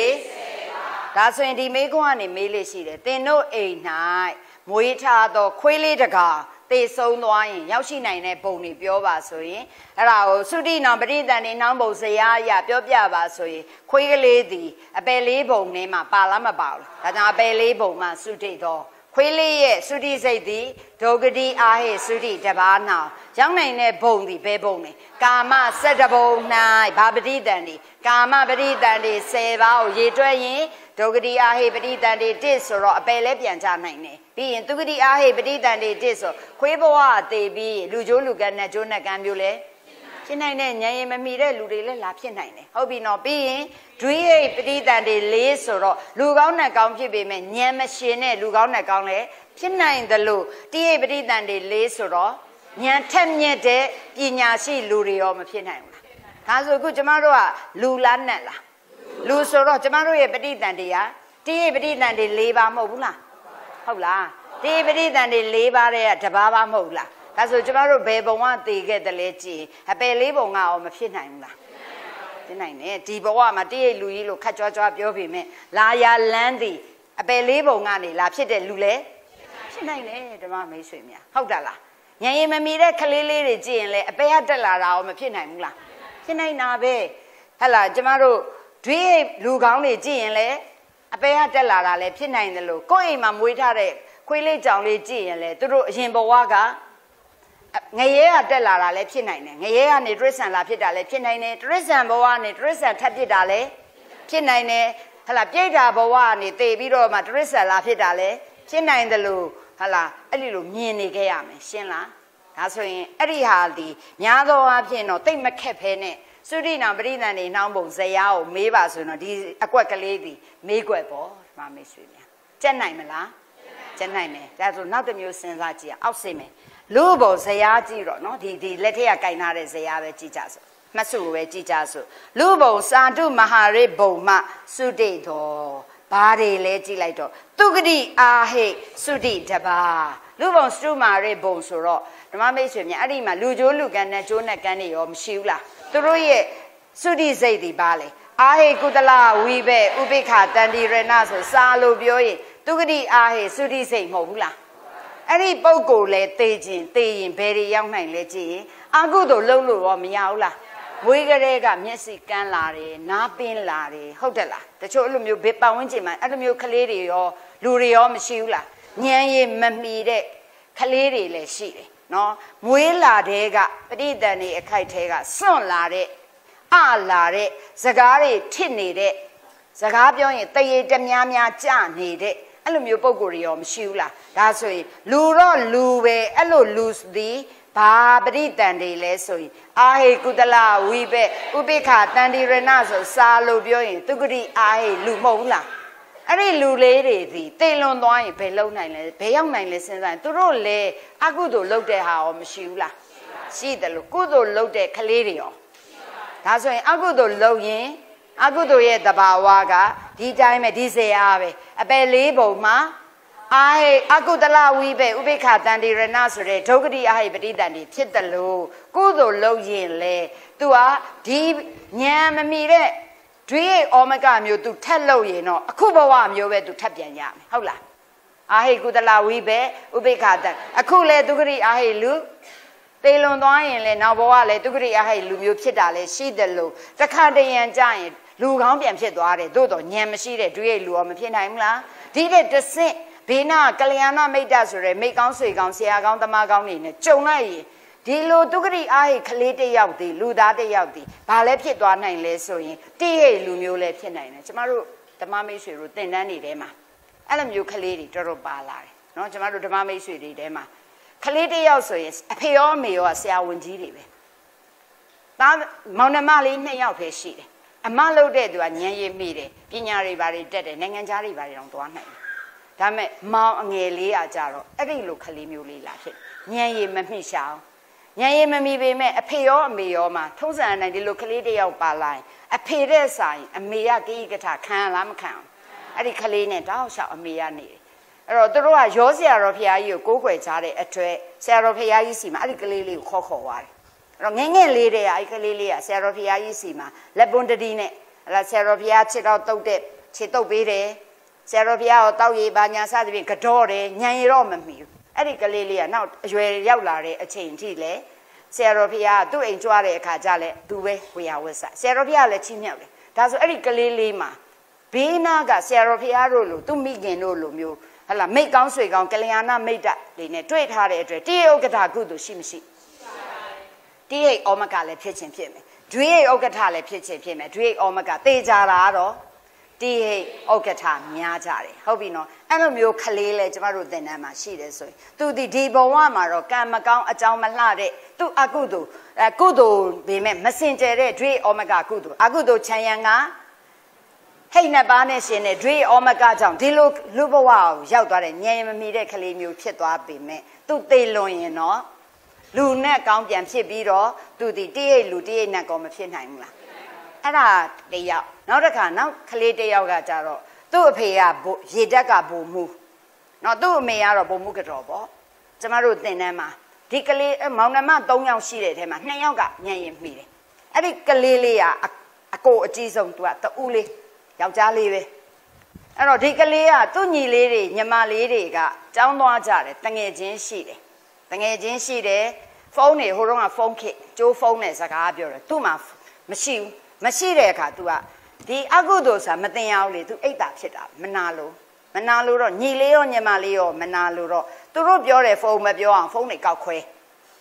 ဒါအဲ့လိုမျိုးတွေစိုးတယ်အဲ့ဒါနဲ့အမေလှုပ်တဲ့သူကတနာဖို့ကောင်းတယ်အမေကအဲ့ဒီကလေးကိုတတွဲတွဲနဲ့နောက်ဆုံးတိုးတိုးပြောရင်ကျမတို့တင်တန်းချောင်းရောက်လာတဲ့အခါ तू ပျော်သွားတယ်ကျမဒီသူ့ဆရာမဒီမှာ तू နဲ့တင်တန်းတက်နေတာဒီ तू တငယ်ချင်းနေအဲ့ဒီကလေးတွေနဲ့ ဖះရွှေကုန်းရင်မြင်တော်မှာသွားတွေ့သွားဟာသွားစကားမပြောနိုင်ဟိုးဝါဝါပဲစာလည်းမရေးနိုင်သူရေးလို့ရှိရင်ပဲပင်ပေါက်လူလေးတွန်းတွန်းတွန်းတွန်းလေးတွေသူဆွဲတယ်နော်အဲ့တော့သူ့တငယ်ချင်းနေအဲ့ဒီအချိန်ကစားသူ့စိတ်ကပြောင်းသွားပြီးတော့အဲ့ဒါသူ့အမေကသူ့တခုခုစိတ်ဟိုဟာဖြစ်ပြီဆိုရင်ကျမဓာတ်ပုံသူ့အိမ်မှာချိတ်ထားတယ်။မှဆရာမပြီးရင်အခွေထည့်ထားတယ်ဟိုတော့ကက်ဆက်ခွေခလုတ်နှိပ်ပေးလိုက်ရင်ဆရာမပြောနေဆိုတာသူ့ဆရာမသူ့တငယ်ချင်းသူ့စိတ်ထဲမှာလုံခြုံမှုလားရှိတယ်။ ရှိလာပြီးရင် तू ကကျမထမအမေနဲ့တွဲပြီးတော့ तू ကတင်နန်းတက်တယ်။အပြီးဒီမှာပထမအဆင့်နောက်တစ်နှစ်ဒုတိယအဆင့် तू က तू အတန်းတက်သွားတာစာမောမဖြစ်ဘူး။နောက်ဆုံးဘယ်လောက်ကသူ့အမေလိုက်ဆရာမလို့တော့ဘဲနဲ့ तू ကဝိသုဒ္ဓိမဲ့အထိရောက်လာတာနော်ဒါပေမဲ့အဘိဓမ္မာဇယာအဘိတင်နန်းစပြီဆိုရင်ဖယားရှင်တော်မပွင့်ပေါ်မီဆိုအဲ့ဒီအတိုင်းကိုသူ့အတန်မဆိုတတ်ဘူးဖယားအတိလုံးဖယားရှင်တော်စသည်ပြီးအတန်လေးနဲ့ တပ်ပညာတော်ဖယားသည်စသည်လဲသူတို့ဆိုတယ်ဆိုပြီးဇယာဖွင့်ကြပြီဆိုသူဘလောက်ကြည်နေလဲနှစ်တွေအများကြီးတက်သွားတာဘလောက်ကြည်လဲဆိုဘေးနာဓမ္မမိတ်ဆွေအစ်စ်ကဇယာရှာမတွေ့ရင်သူကထောက်ပေးဒီဇယာဘလောက်ဝန်တာဖို့ကောင်းလဲဆိုကျမပြောဒီကလေးတစ်ယောက်နဲ့ကျမတို့တင်တန်းเจ้าကြီးကိုလှူတဲ့အလှူရှင်နေကြေပြီသူစိတ်တိတ်လုံကြုံသွားတယ်နောက်အဲ့ဒီကနေ ပြီးတော့ပါသွားလိုက်တာဘလောက်ထိဝမ်းသာဖို့ကောင်းဆိုသူကသူ့တို့ရက်ွက်ထဲမှာသူကဥိစာရရိတ်တာအိမ်နေရာမှာနေတာ မင်းမနိုင်မှာနေတာအဲ့ဒါမှလာတဲ့စွန့်ခံတဲ့ကိုရင်နေဥစဉ်တွေတွေ့လက်အုပ်ချီပြီးတင်ကန်းနဲ့ပါဆွဲပြီးတော့သူအိမ်ပင့်လာတာအဲအမေကစွန့်ခံစွန့်လောင်းပေးရတယ်တီလာရှင်တွေဆိုလဲလက်အုပ်ချီပြီးခေါ်လာတာဆိုရင်အငြင်းနဲ့စွန့်လောင်းသူ့မှာဒါနကုလို့နောက်တဖြည်းဖြည်းနဲ့ကိုရင်ဝက်လာတယ်အဲ့တော့တဆင့်စင်နဲ့အခုတော့ကျမတို့တန်တန်းချောင်းမလာတော့သူကတရားအထုတ်နေဟောဆိုလို့ရင်သူ့ဘဝ life ကိုကြည့်ရင်လေဘာရှိလဲသူ့မှာလေ ဒီလိုဘဝရောက်ခဲ့ပေမဲ့ညံရင်မမီတဲ့ကလေးဖြစ်နေသူကလူပြိုကြီးဖဖဖြစ်သွားပြီနော်အဲ့တော့အဲ့ဒီကလေးဆိုလို့ရှိရင်လေသူကလူပြိုဖဖဆိုတော့ရှိုးကလည်းထုတ်ချင်လာတယ်နေကမျက်မှန်နဲ့ပတ်စံအိတ်ကိုခါမှာပတ်လို့ဟဲလာရှက်ကိုရှက်ကန်းနဲ့အဲအဲ့ဒါအဲ့ဒီလိုအဆင့်နဲ့သူတရားတွေပါတွေအထုတ်တဲ့အဆင့်ဆိုသူ့မှာမိကောင်းဖကောင်းနဲ့သူ့ရဲ့စိတ်ထဲမှာဒါဆရာမဒါသူ့ဆရာမဒါသူ့ဓမ္မမိတ်ဆွေတွေစိတ်နဲ့လုံခြုံသွားတော့အရင်လိုအိတ်တာမစ္စရိယာသူမရှိတော့ဘူးဒါဆိုရင်သူ့ရဲ့ နံပါတ်1ဒီဘဝမှာတော့တရားသူမရနိုင်ပေမဲ့နံပါတ်1မှာတော့တိဟိတ်ဥက္ကဋ္ဌကုသိုလ်တွေသူအများကြီးရှိသွားပြီရိုးရိုးသေးသေးဖျားရှိခိုးတယ်တရားမှတ်တယ်ဒါဆိုရင်သူဒီတိဥက္ကဋ္ဌကြောင့်တိဟိတ်လူကောင်းနတ်ဖြစ်နိုင်လားမဖြစ်နိုင်ဘူးနောက်ကလေးတယောက်ရှိသေးတယ်နောက်ကလေးတယောက်ကဝိသုဒ္ဓိမဲ့တင်နန်းတက်တဲ့ဓမ္မမိတ်ဆွေတယောက်ကသမီးလေးမိန်းကလေးဆိုတော့မိန်းကလေးဒုက္ခတွေရှိတာပေါ့ဒါပေမဲ့သူကအစအရန်ကျန်းတာဒီတင်နန်းနဲ့ဝင်လာပြီဆိုကြောပုတ်အိတ်နဲ့ လာလာတလောကလုံးဘယ်သူမှသူဂယုမဆိုင်ဒုံတိုင်းဂုံကွမ်းနဲ့တွက်ကြရင်ဇရိုက်နေနဲ့ကြမ်းတယ်သို့တော်ဒီမှာတင်ရင်တင်ရင်နဲ့ဒါကျမကိုထုံးစံတိုင်းသူတို့ချစ်ကြတယ်ချစ်တော့သူ့စာရွက်ကလေးတွေစာရွက်လေးနဲ့ဗာရေးထားမှမသိလာပေးတယ်သူများတွေစာစာရွက်ထက်ရင်သူကလည်းထက်ချင်တယ်ဆိုအဲ့ဒါအမှတ်ချစ်ပေးလိုက်သဘောကျတယ်အဲ့လိုမျိုးပေါ့အဲ့ဒီကနေပြောင်းသွားတာဆိုဆိုလိုတာဘဝမှာကံမကောင်းကြောင်းမလားလို့အဲ့လိုမျိုးလူတွေဘဝရောက်သွားတာကိုမရှိနိုင်ဘူးလားသူတို့ရဲ့ပဋိသန္ဓေတီတီသူဂတိအာဟိ ပဋိသန္ဓေမဟုတ်ဘူးလားသူဂတိအာဟိပဋိတန်နေဆိုအာဟိကုတလဝိဘေဥပိ္ခတန်တိရဏစိတ်နဲ့ပဋိတန်တိနေသူတို့သေးလွန်ရင်ကောအာဟိကုတလဝိဘေဥပိ္ခတန်တိရဏဆိုတဲ့သူဂတိအာဟိသုတိနဲ့သိမှာပေါ့ဒါဆိုဘယ်ရောက်နိုင်လဲအကုသို့ထပ်လို့ရင်တော့အပယ်ကိုကြသွားရင်သူ့တဲ့အစစ်နိုင်နဲ့သူဂတိအာဟိလူဘဝကနေဒုက္ခတိအာဟိပဋိတန်တိရမှာပေါ့ level 2ပဲပြန်ဖြစ်နေမယ်ဆိုရင်တော့ ဒွိဟိဩမကအကျိုးပေးသွားရင်တော့သူဂတိအားဟေလူသူဂတိအားဟေနတ်ဖြစ်အောင်ပါပဲဒါမှမဟုတ်တဆင့်တက်ရင်ဒွေဟေလူဒွေဟေနတ်ဒီတဲ့တဆင့်တက်ရင်တိဟေလူတိဟေနတ်ဆိုအဲ့ဒီပုဂ္ဂိုလ်သေလွန်ရင်လေဘယ်ဘုံရောက်လဲကာမစက်တဘုံမှာကာမပဋိသန္ဓေ10ပါးပဲဆိုအပယ်လေးပုံသားနဲ့ level 2ပဲမဟုတ်ဘူးလားဟုတ်ပြီနော်နောက်တစ်ခုကိုကြည့်ရင်လူဘုံစာတုမဟာရဲ့ဘုံကဒွိဟိစုတိ၄ပါးနောင်တွေ့လား ဇယံမှာတွဲရေးထားတယ်တွေ့လားအဲ့တော့ဒွိဟိလူဒွိဟိနတ်တွေရောမရှိဘူးလားလူကောင်းတွေထဲမှာညံရညံမရှင်တဲ့လူမှကြည့်လိုက်ရင်တော့မျက်စိနားနှာခေါင်းရှာကိုအကုန်ပြည့်စုံတယ်သို့တော့ညံအားမရှိတဲ့ဒွိဟိလူတွေရောမရှိနိုင်ဘူးလားနတ်ပြည်6ထက်မှာမှဟလာစာတုမဟာရေဘုံမှာဟလာဘာဖြစ်နေလဲဆိုတော့ဒွိဟိနတ်မျိုးရောဖြစ်နေတာမရှိဘူးလားအဲ့ဒီပုံကိုယ်တွေသိရင်ရောဆိုတော့ဒွိဟိဘဝနဲ့လူကောင်းနဲ့ကောင်းဖြစ်နေပေမဲ့ အကုသို့လုပ်ရင်သူတို့လည်းအပယ်ကြမှာပါပဲဟုတ်တယ်လားထပ်ပြီးတော့ကုသိုလ်လုပ်ရင်လေသူတို့လုပ်နိုင်တဲ့ကုသိုလ်ဒီရိုးရိုးကာမကုသိုလ်ပဲရှိမှာပေါ့ဇံကုသိုလ်တွေမရဘူးလေအပယ်လေးပုံသားဒီဘလောက်အထုတ်ထုတ်ဇံမမဲ့ဖို့မရလူလူကျိုးလူကန်နဲ့ကျိုးနဲ့ကန်နေဘလောက်အထုတ်ထုတ်ဇံမဲ့ဖို့မရဇံနောက်တစ်ခါဒွေးလူတွေဘလောက်အထုတ်ထုတ်ဇံမဲ့ဖို့မရဆိုသူတို့ဒီမေဟကုတ်ကုသိုလ်မရှိနိုင်လောကုတ္တရာကုသိုလ်မရှိနိုင်သူတို့ရှိတာကာမကုသိုလ် level ပဲဆိုရင် အကုသိုလ်ကြောင့်သေလို့ရင်အပယ်ကြမယ်ဟုတ်တယ်လားကာမကုသိုလ်ကြောင့်သေလို့ရင်သူဂတိအားဟိလူဒွိဟိလူတိဟိလူသူဂတိအားဟိနတ်ဒွိဟိနတ်တိဟိနတ်ဆိုသူလည်းပါပဲလေကာမစက်တဘုံမှာကာမပရိသန်နေ10ပါးပဲမဟုတ်လားအဲ့ဒီဟာမျိုးတူနေတဲ့အတွက်ကျေးဇူးတော်ရှင်မူလပဋ္ဌာန်းဆရာတော်ဘုရားရအဲ့ဒါကိုပေါင်းရေးထားတာမဟုတ်ဘူးလားအဲ့တော့ပေါင်းရေးတော့ဇေယျမှာပါတွေ့လေဇေယျမှာကြည့်ရင်ဓမ္မမိတ်ဆွေများဇေယျမှာ အပယ်လေးပုံတွဲရေးလိုက်တယ်တွေ့လားအပယ်လေးဘုံလူဘုံစာတုမဟာရိဘုံမှာအပယ်လေးဘုံအကြောင်းစုတေသောအပယ်လေးဘုံပါတဲ့အတွက်သူ့ရဲ့စုတိစိတ်ကဒုက္ခတိအာဟိစုတိစာလူဘုံနဲ့စာတုမဟာရိဘုံပါနေတဲ့အတွက်သူဂတိအာဟိစုတိရဲ့ဒွိဟိစုတိရဲ့ဆိုဒုက္ခတိအာဟိစုတိကတပါသူဂတိအာဟိစုတိကတပါ ဒွိဟိစုတိက၄ပါးဆိုပေါင်းလိုက်တော့6ပါးနောင်ဟုတ်လား6ပါးနောင်ဖြစ်သွားတဲ့အတွက်အခုကျမတို့ကအဲ့ဒီအချိန်မှာဟလာအဲ့ဒီလိုချိန်မှာကျမတို့ကပေါင်းရေးပေမဲ့စာမေးပွဲမှာပေါင်းမေးမှာမဟုတ်လားကျမတို့ကအဲ့ဒါဆိုရင်ကျမတို့ကဘာလုပ်ရမလဲဆိုရင်ခွဲပြီးတော့ကျမတို့ကြည့်ရမလားမကြည့်ရဘူး။အဲကြောင့်ခွဲကြည့်တာဒီခုန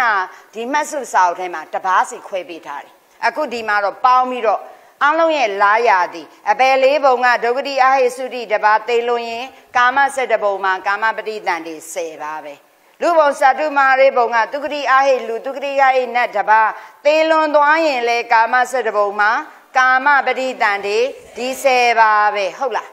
တခါ လူဘုံစတုမာရိဘုံကဒွေဟိပုဂ္ဂိုလ်တယောက်သေလွန်ရင်လေကာမစက်တဘုံမှာကာမပဋိသန္တိ10ပါအဲ့တော့ကျမကတော့အဲ့ဒါကနန်းကိုအဲ့လောက်သိပြီကျမကတော့အခုနအတိတ်ပဲနဲ့သိတယ်ကြည့်တယ်အပယ်လေးပုံကြနေတော့လဲအကုသိုလ်လောက်တာရှိမယ်ကုသိုလ်တဲမှာဆိုရင်တခြားကုသိုလ်တော့လုပ်ခွင့်မရှိဘူးကာမကုသိုလ်၈ပါးလုပ်ခွင့်ရှိမယ်အကုသိုလ်လုပ်ခဲ့ရင်အပယ်လေးပုံပြန်ကြရင်အပယ်လေးပုံသားတို့ရဲ့ဒုက္ခတိအာဟိပဋိသန္တိပြန်ရမှာပေါ့ ကုသိုလ်လုပ်ခဲ့တဲ့နေရာမှာဒွေဩမကကုသိုလ်မျိုးလုပ်ခဲ့ရင်ကိုစာကြက်တာစာထဲမှာရေးစရာမလိုဒွေဩမကကုသိုလ်ကြောင့်ဆိုရင်တော့လူဘုံနဲ့စာတုမာရေဘုံမှာတုဂရိအာဟိလူတုဂရိအာဟိနတ်ပြန်ဖြစ်သွားတော့တုဂရိအာဟိပဋိတန်တွေဖြစ်မှာပေါ့ဟုတ်လားရှင်အဲဒွိဟိကုသိုလ်အကျိုးပေးသွားပြီဆိုရင်တော့လူဘုံနဲ့စတုမာရေဘုံမှာဒွိဟိလူဒွိဟိနတ်ဆိုတဲ့ဒွိဟိပဋိတန်တွေ၄ပါးပြန်ရမှာပေါ့တိယဥက္ကဋ္ဌကုသိုလ်အကျိုးပေးပြီဆိုရင်တော့ မဟာဝိဘစိတ်ညာတန်လေးဆိုတဲ့တိယပဋိတန်တွေ၄ပါးဆိုရင်အပယ်၄ပုံသားတယောက်သေးလို့ရင်ကာမ၁၇ဘုံမှာကာမပဋိတန်တွေ10ပါအဲ့လိုစဉ်းစားချက်ဟုတ်တယ်လားအထိုနည်းတူဆိုတာကိုယ်ပံဝင်းကျင်မှာရှိတဲ့လူကျိုးလူကံတယောက်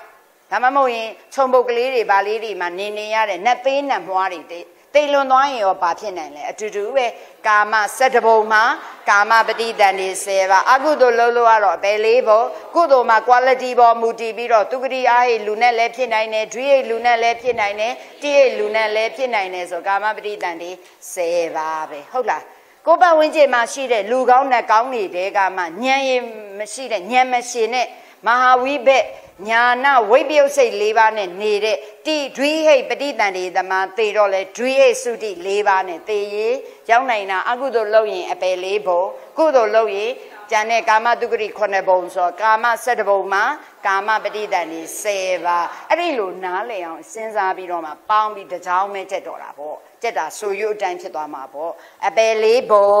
လူဘုံစာတုမဟာရိဘုံမှစုတေတော်လို့ဆိုလိုက်ပြီးအပယ်လေးဘုံကိုအာယုံပြုပြီးတော့ ဒုဂတိအာဟိစုတိတခါလူဘုံနဲ့စာတုမာရိကိုကြည်ပြီးတော့မှသူဂတိအာဟိစုတိဒွိဟိစုတိဆိုတော့6ပါးနာဟုတ်လား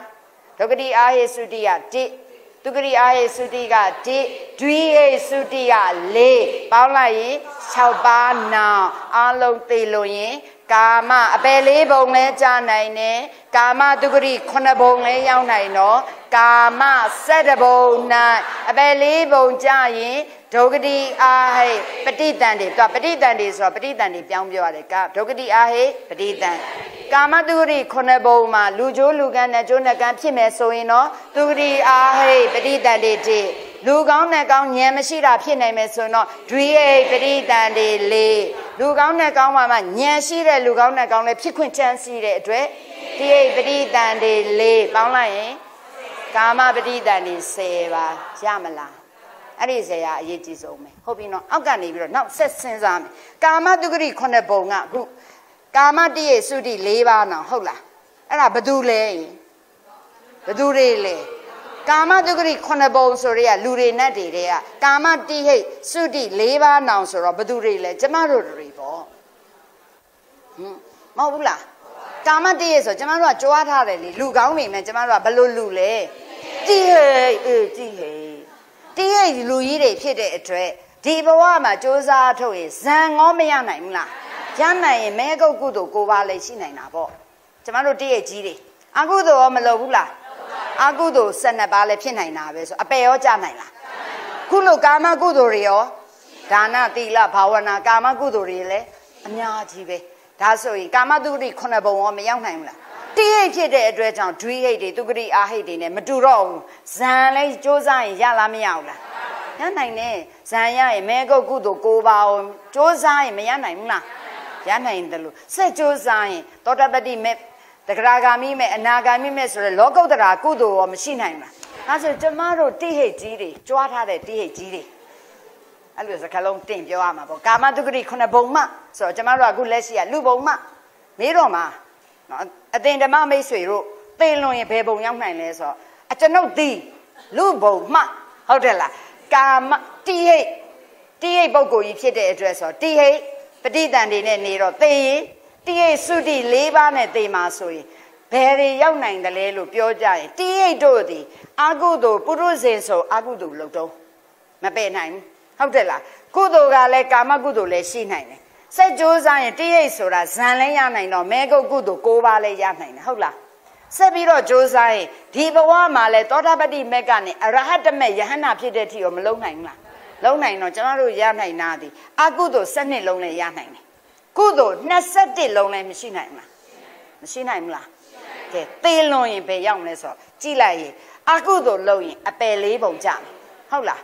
ကာမကုသိုလ်လုပ်ခဲ့ရင်ကာမတုဂရိ9ပုံရောက်မယ်ဟုတ်ပြီနော်တကယ်လို့မဟကုတ်ကုသိုလ်6ပါးရှိခဲ့ရင်ရူပကုသိုလ်5ပါးရှိထားရင်လေဘလို့ရိုးရိုးရူပ15ပုံရောက်တာရှိတယ်လို့တခါတလေဖျားမပွင့်တဲ့အချိန်မှာ ပြင်စမဇန်ကြီးရပြီးမှလူတော်ကြီးတွေပြင်စမဇန်ကြီးရပြီးမှနာမရှိတာကောင်းမယ်ဆိုပြီးတွေးပြီးတော့နာပြောက်စေလို့မှုနေရှင်နဲ့ပြင်စမဇန်ကုသိုလ်ကြီးလဲဒီတိတိဟိတ်ကမလုံနိုင်ဘူးလားဖျားမပွင့်တဲ့အချိန်မျိုးဆိုလုံရင်အတင်ညက်တက်လဲသူကသွားအောင်မှာနော်တိရိတ်ဆိုပြီးအထင်မကြီးနဲ့အဲ့လိုလဲသွားလို့ရတယ်တခါရူပဇံတဲ့အစိမြင့်နဲ့အရူပဇံကြီးရသွားပြီ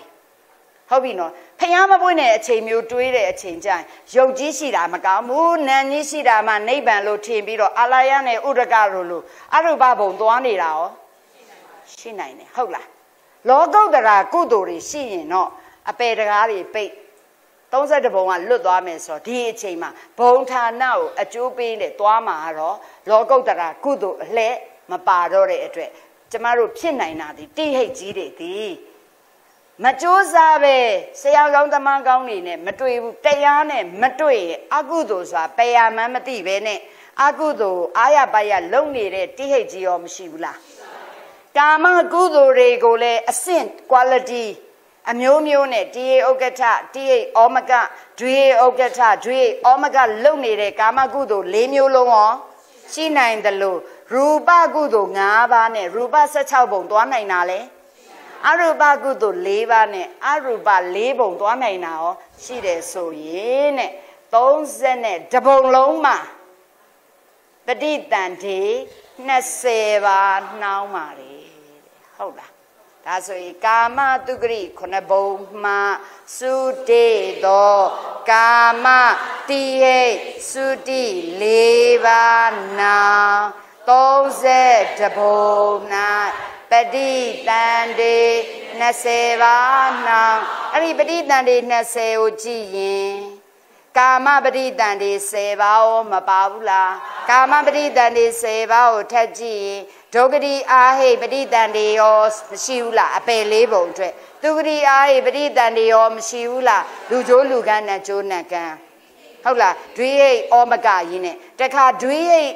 ဥက္ကဋ္ဌနဲ့ ဒွိဟိအတိဟိဩမကရှိထားရင်ဒွိဟိပရိတန်တွေ၄ပါးရောမရဘူးလားတိဟိဥက္ကဋ္ဌရှိရင်တိဟိပရိတန်တွေ၄ပါးရောမရဘူးလားဒါဆိုရင်ကာမတုဂတိခုနှစ်ဘုံမှာတိဟိသုတိ၄ပါးနောက်ကာမ7ဘုံမှာကာမပရိတန်တွေ10ပါးရောရတာမရှိဘူးလားကာမပရိတန်တွေ10ပါးရတာလေရှိနိုင်တယ်တခါဇန်နေပါရသွားပြီဆိုရင် ဟလာဖျားမပွင့်တဲ့အချိန်မျိုးမှာနံပြောင်းစေလိုမှုနဲ့ရှင်နဲ့ပြင်စမစံကုသိုလ်ကံမျိုးလုပ်ရင်အတေညတဘုံမှာရုပ်ပတိတန်တွေတပါးရသွားတာရောမရှိနိုင်ဘူးလားဆက်ပြီးတော့ကြည့်မယ်ဆိုရင်ပထမဇန်ကုသိုလ်မှာဟိနမစ္စည်းမပဏိတဘောမူတည်ပြီးပထမဇန်သုံးပုံရောက်သွားတဲ့တိရိတ်တွေရော ရှိနိုင်တာပဲဟုတ်တယ်လားကဘာကြီးတက်ခဏီးနဲ့ကြုံနေတဲ့ချိန်ကျတော့ပထမဇန်ပုံပါမယ်ဆိုရင်ကြောက်လန့်တကြားနဲ့ဒုတိယဇန်သုံးပုံရအောင်ဒုတိယဇန်တတိယဇန်ကုသိုလ်တွေကိုဝယ်ဟိနမစ္စည်းမပဏိတနဲ့လှုပ်ပြီးတက်တုတ်ရိုက်ပြီးတော့ကတ်လွတ်တယ်အောင်မရှိနိုင်ဘူးလားနည်းနည်းဆက်ပြီးတော့စိတ်ချရအောင်ဆိုပြီးတော့တတိယဇန်သုံးပုံရောက်အောင်သရုဋ္ဌဇန်ကုသိုလ်ဟိနမစ္စည်းမပတိတနဲ့သွားပြီးတော့လုံရင်လေတတိယဇန်သုံးပုံရောက်တာရော ဘုထုစေမဲ့ဘုထုစေမဲ့တာမင်ညပြေစမဇန်လှုပ်လိုက်လို့ဝေဟတ်ဖို့ရောက်သွားတာရောဒီတိဟိကြီးမှာမှအနာဂံကြီးဖြစ်နေပြီးတော့တတ္ထာကိုအဓိကထားပြီးတော့စ조사တဲ့ပြေစမဇန်ကုသိုလ်ကြောင့်အဝိဟာဘုံရောက်သွားတဲ့တိဟိကောမရှိနိုင်ဘူးလားပညာလွန်သွားပြီကြော်ပြောလိုက်မယ်တတ္ထာဝရိယတတိတမာရီပညာလွန်ခဲ့တဲ့အနာဂံရဲ့ပြည့်စမစံဖြစ်နေခဲ့ရင်အတက်အကနိဋ္ဌဘုံရောက်သွားတာရောမရှိဘူးလားဒါသာသနာတွင်ကုသိုလ် သာသနာပအချိန်မှာလူတော်ကြီးတွေအရုပဇံကိုရအောင်လုပ်ပြီးတော့ရုပ်ကြီးရှိတာမကောင်းဘူးနန်းရှိခြင်းနဲ့ဆိုပြီးတော့အရုပလေးဘုံကိုတက်သွားတာရောရှိနိုင်တဲ့အတွက်အရုပပဋိသန္ဓေ၄ပါးရောရနိုင်တဲ့အတွက်30တပုံလုံး၌ပဋိတန်တေ20ဒါဆိုကျမတို့ကတိဟိတ်ကြီးတွေစ조사ရင်30ပုံလုံးမှာပဋိတန်တေ20လုံးနဲ့သွားလို့ရမရသို့တော့ယခုလက်ရှိအခြေအနေအရ အသင်စားပြေပုဂ္ဂိုလ်တေလွန်ပြီးရောင်းနိုင်ရာဘုံဌာနနဲ့ပဋိတန်တွေပြောပါဆိုလက်ရှိအခြေအနေအရဆိုတော့ကိုကိုကိုတိဟိတ်ကြီးဘယ်ဘုံကလဲကာမတုဂရိခုနှစ်ဘုံတိတိကျကျပြောရင်လူဘုံမှခရီတိဟိတ်ကြီးလက်ရှိအခြေအနေရဆိုရင်အကုသိုလ်စနစ်ဘယ်ကပယ်ပြီးပြီလဲဘာမှပယ်တော့စနစ်ရှိတယ်ပြီးရင်ကုသိုလ်မှာလဲဘယ်ကုသိုလ်လက်ရှိပဲရသေးလဲ ကာမကုသိုလ်ဆိုတဲ့မဟာကုသိုလ်ရှစ်ပဲရှိတယ်မဲကုတ်ကုသိုလ်လက်ရှိရလားဇံရခွင့်ရှိတော့လဲဇံရပြီလားမဲကုသိုလ်ရခွင့်ရှိတော့လဲမဲ့ရလားမရရင်လက်ရှိအခြေအနေရအတင်စားပြေပုဂ္ဂိုလ်တည့်ရကြီးရောက်နိုင်တဲ့ဘုံဆိုရင်ကာမဆက်တဘုံ၌ကာမပရိဒံတွေဘာထူးလဲအောင်နဲ့တို့ဂုတ်ကြားတို့ ਨੇ ရဲတူတူပဲညင်းမိလားမင်း ကုတ်ကုတ်ကိုငါကတီးဟိတ်ကြီးဆိုပြီးတော့မကြွဆောင်နဲ့လက်ရှိအခြေအနေရဆိုရင်ကိုယ့်အိမ်မှာမွေးထားတဲ့ကြောင်လေးတွေခွေးလေးတွေနဲ့ level 2ပဲမဟုတ်ဘူးလားသူတို့ကမှတရားနာပြီးနတ်ပြည်ရောက်ပြီးကိုကသေကန်နီးမှာဒေါသဇောစောပြီးတော့ငရဲကြနေတာရောမောဟဇောစောပြီးတရစ္ဆာပြန်ဖြစ်သွားရင်ရောနေရာချင်းလဲလိုက်တယ်လို့မဖြစ်နိုင်ဘူးလားဟမ်သူတို့ကလူဖြစ်ကိုကတရိษံဖြစ်သူတို့ကတခါပြန်မွေး မဖြစ်နိုင်ဘူးတန်တရားဆိုတာဒီလိုပဲသွားတယ်အဲဒါကြောင့်တတ္တဝါတွေရဲ့ပါကဆိုတဲ့ကုသိုလ်ကံပေါ်မူတည်ပြီးတော့အကျိုးပေးရာဘုံဌာနကိုပါကဌာနလို့ပြောတာနားလည်ပြီနော်အဲ့လိုဆိုရင်ဆက်ကြက်လို့ရလားလက်ရှိအခြေအနေမဟုတ်ဘဲနဲ့ဟာဒီတိဟိတ်ဒီဆက်ကြိုးစားရင်ဇံရောမရနိုင်ဘူးလားရူပဇံ၅ပါးလုံးရရင်သူ့ရဲ့သွားနိုင်တာဒီရူပ16ပါသာသနာတွင်မှာဆိုရင်တော့နံပြောက်စေလိုမှုနဲ့ရှင်နဲ့ ပြင်စမစံကုသိုလ်မျိုးမလုပ်တဲ့အတွက်အတိညာတတ်တော်မရောက်ဘူးပေါ့ဒါသူ့ရဲ့ပေါ်မှာမူတည်မယ်တခါသာသနာတွင်မှာအရူပဘုံလည်းမသွားကြဘူးဆိုရင်ခုလက်ရှိမှာခုကျမတို့စာသင်ထားတော့အတိညာတတ်ပုံရောက်အောင်လုပ်ကြအောင်မလားအရူပလေးဘုံရောသွားခြင်းလားသုဒ္ဓဝါဒဘုံရောသွားခြင်းလား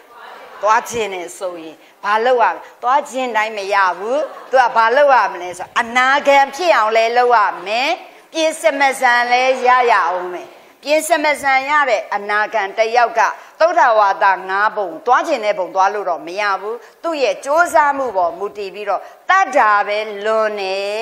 ဟလာအနာဂံတယောက်ကပြည့်စမစံကြောင့်အဝိဟာဘုကိုယ့်ရဲ့စ조사မှုကတမာတိလွန်နေတာဆိုရင်တော့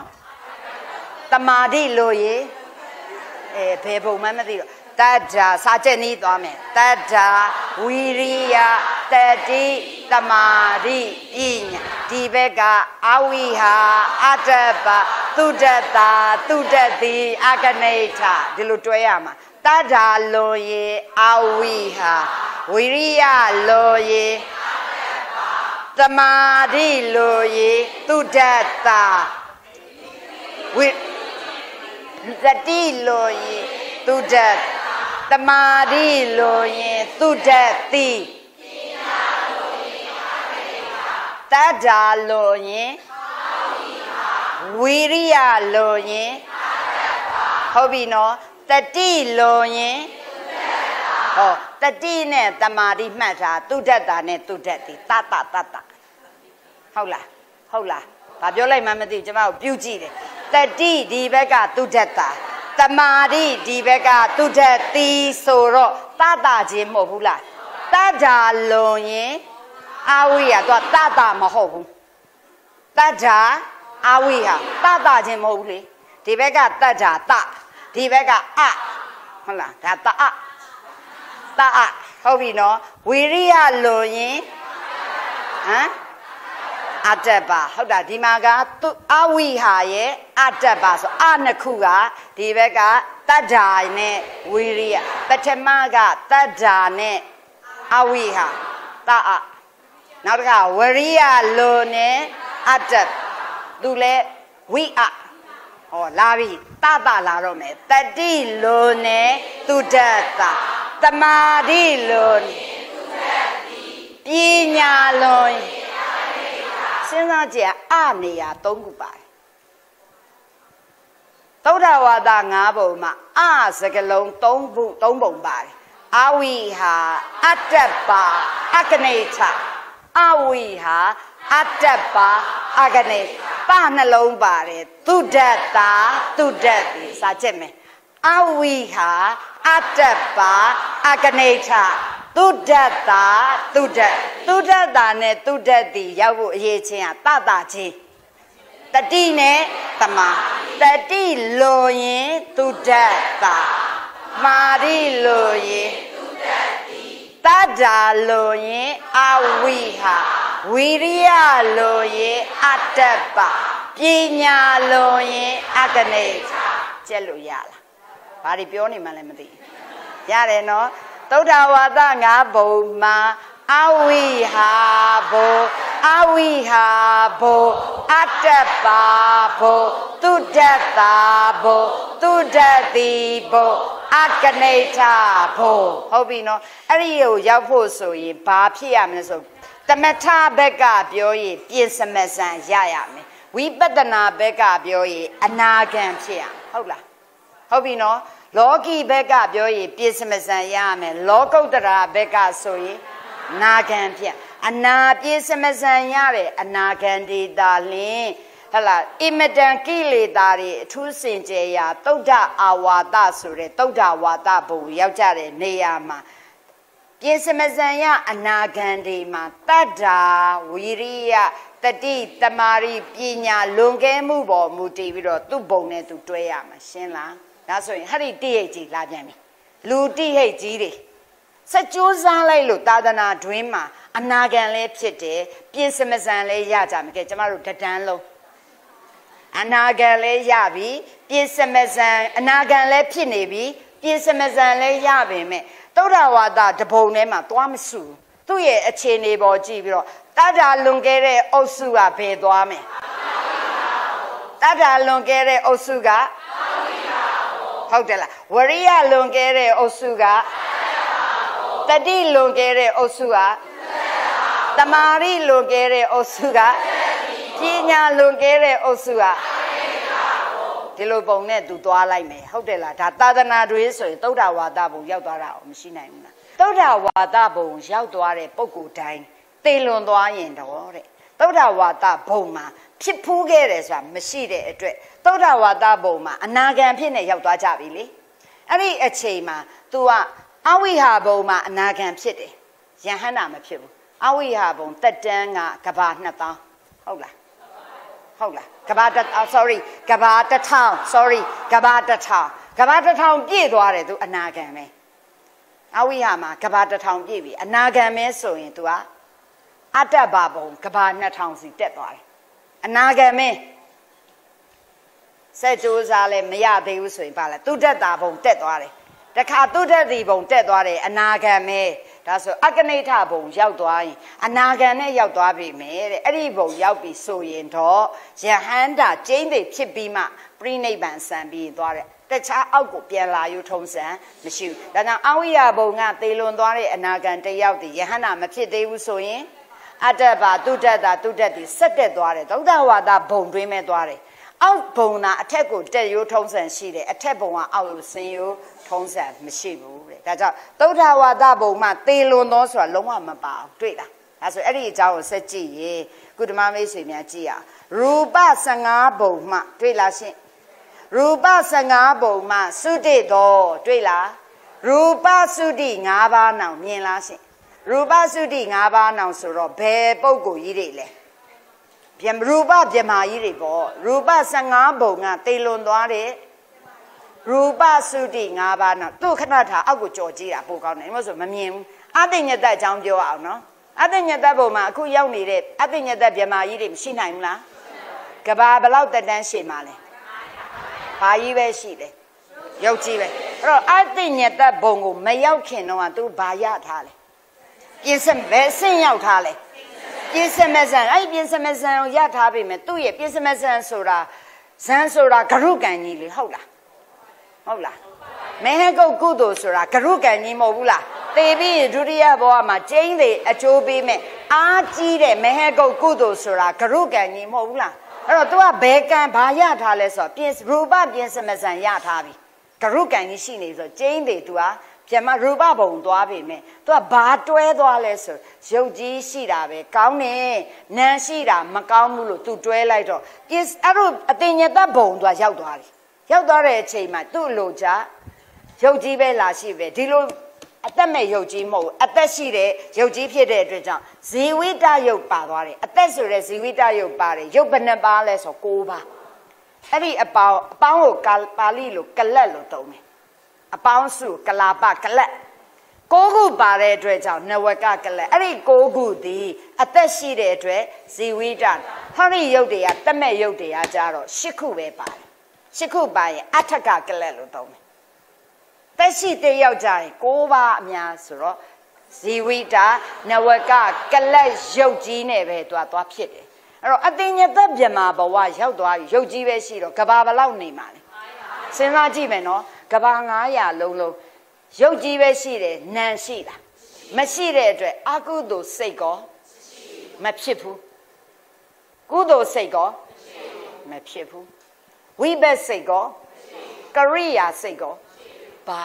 စိတ်မှမဖြစ်တဲ့အတွက်ဘာစေတသိက်မှလည်းမရှိပဲအသက်ရှိတဲ့ရုပ်ကြီးအနေနဲ့ကဘာ900သွားပဲနေတယ်အဲ့ဒီကဘာတွေအတွင်းမှာဖျားပွင့်ရကဘာတွေရောမပါနိုင်ဘူးလား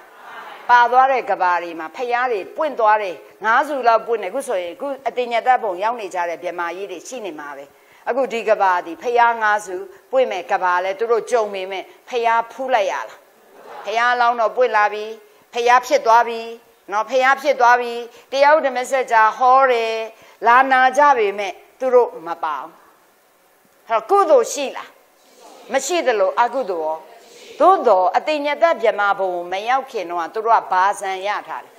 ပြင်စမစံတိရတယ်ဆိုတဲ့အတွက်ကြောင့်သူတို့ဒီကုသိုလ်တွေတော့လှုပ်ထားဘူးတာရှိလားမရှိဘူးဒါကြောင့်အတိညာတဗြဟ္မာကြီးဘဝမှာကဘာ900နေပြီးတေလွန်သွားရင်တဲ့အတိညာတဗြဟ္မာဘဝမှာအကုသိုလ်မရှိတဲ့အတွက်တေလွန်ရင်အပယ်မကြဘူး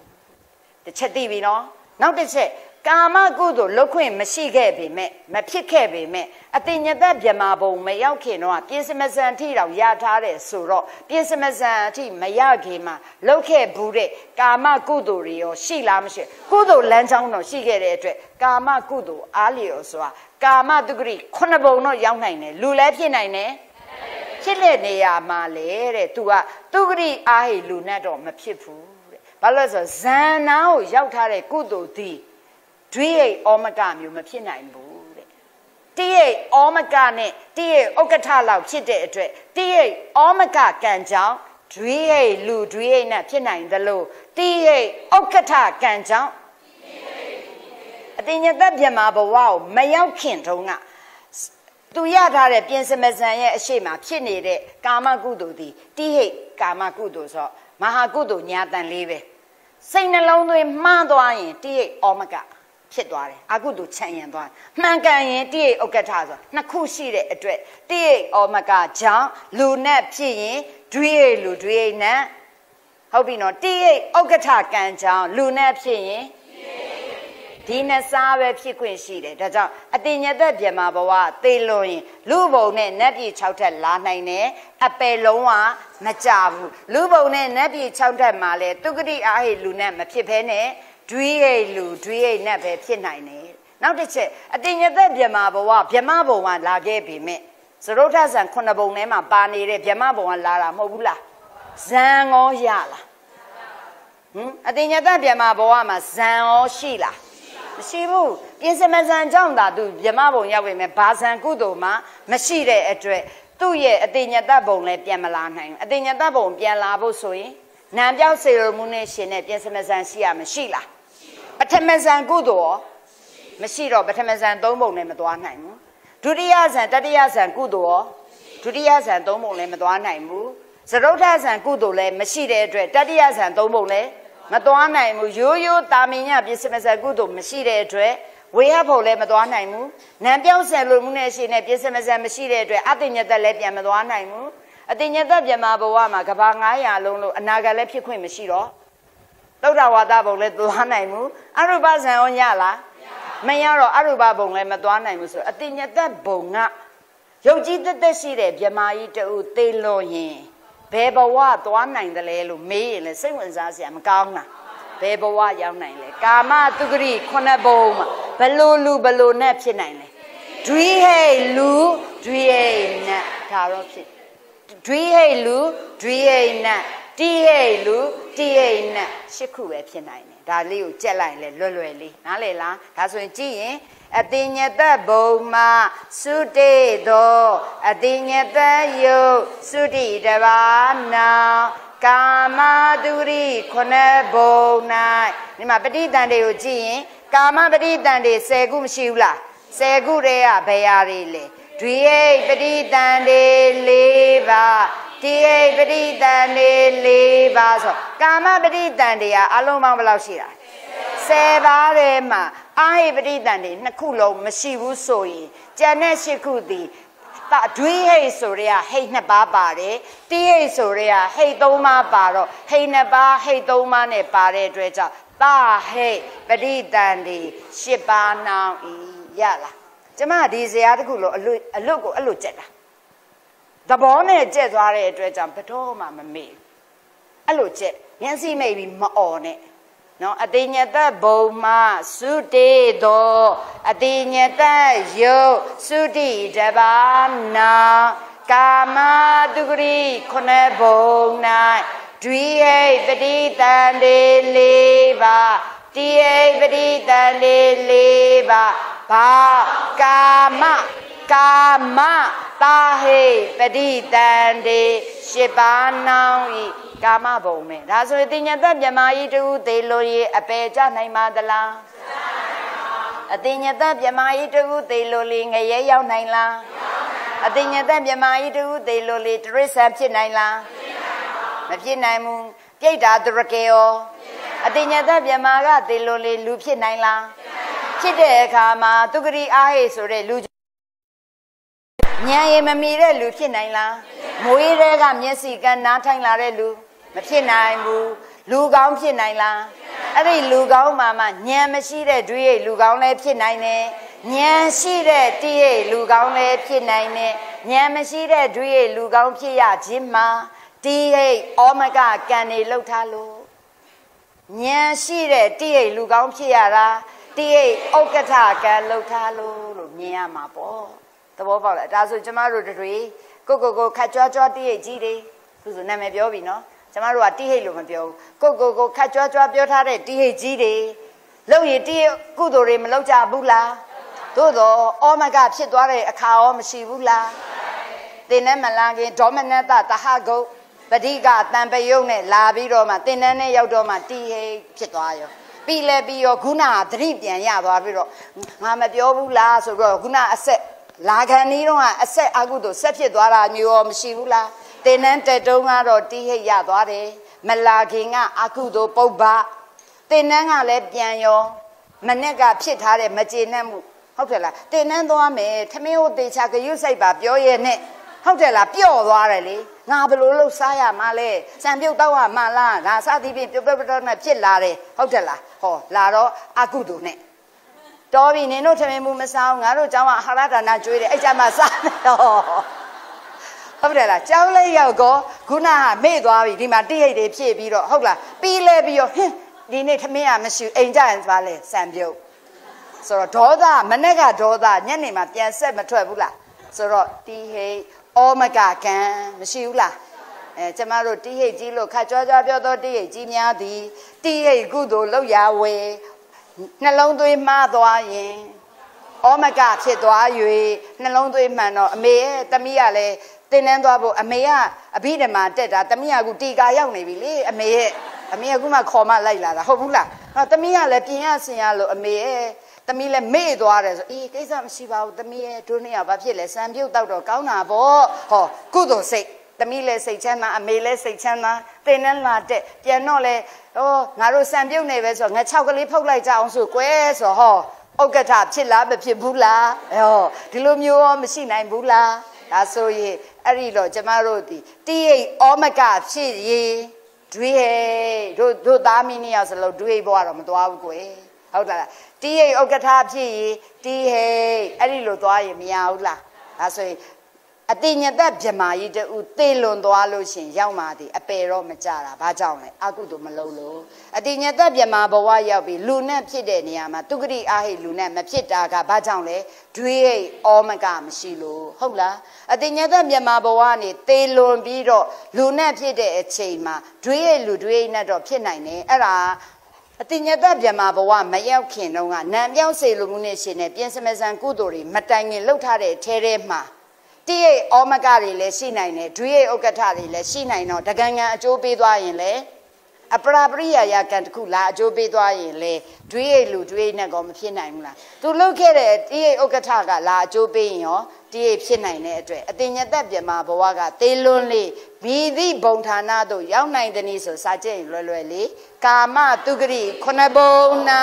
ကာမတဟိပရိတန်တိရှစ်ပါးနှောင်းဤ ကျမအဲ့စာသင်သားဘဝတော့ဒါမျိုးချက်ရင်ကျမအေးအေးစစ်စစ်မျက်စိမဲပြီးတော့စဉ်းစားပြီးတော့သွားတာကိုကကိုနော်ကျမတို့တော့ကောင်းတယ်လေ TV မရှိဘူးဟုတ်တယ်လားဖုန်းမပေါ်သေးဘူးအဲ့တော့အေးစစ်စစ်စာချက်ချင်အများကြီးရလားမရအောင်ဓမ္မမိတ်ဆွေတို့ကတနာတယ်နော် TV ကလည်းရှိတယ်ဖုန်းကလည်းပေါ်လာတော့စာချက်ချိန်နေတော်တော်ရော့တယ်ဟုတ်ဘူးလားတနာတယ် အဲ့တော့ကျွန်တော်တို့တော့အိပ်ရတဲ့ရောက်သွားရင်လေအဲ့ချိန်မှာစာပြီးစာ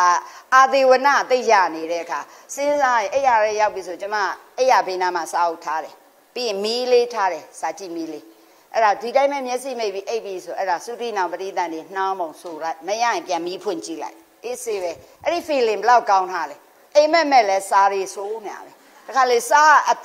အချိန်ရနေရင်လေအိတ်တာအိတ်နေပေမဲ့စားရီဆိုးမနေဘူးလား နိုးတော့လဲစားဆိုရင်နိုးတယ်ဘလောက်ကောင်းလဲအဲ့ဒီအချိန်မှာသေသေစေခြင်းတယ်သေသွားရင်ကောင်းတဲ့ဘဝရောက်မရောက်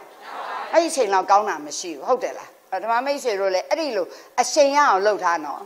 အသေးကောင်းဖို့ဟုတ်တယ်ဒါအသေးကောင်းဖို့ကစူးစမ်းထားလို့ရလားမရအနေကောင်းခြင်းသည်အသေးကောင်းခြင်းတွေဖြစ်သွားမယ်ကဲအသေးညက်သက်ဖိလိုက်ကျန်တဲ့ရူပ15ဘုံ အတင်ညသက်ကျင်တဲ့ရူပ15ဘုံကပြမာကြီးတွေစဉ်းစားကြည့်အောင်ပထမဇန်3ဘုံဒုတိယဇန်3ဘုံတတိယဇန်3ဘုံသရုတ်ထဇန်အတင်ညသက်ကျင်တဲ့6ဘုံရှိမှာပေါ့အဲ့ဒီကပြမာကြီးတွေတေလွန်ရင်ဘယ်ရောက်နိုင်လဲခြုံပြောပြီစဉ်းစားကြည့်အဲ့ဒီပြမာဘဝရောက်ရင်အာကုတုလုတ်သေးလား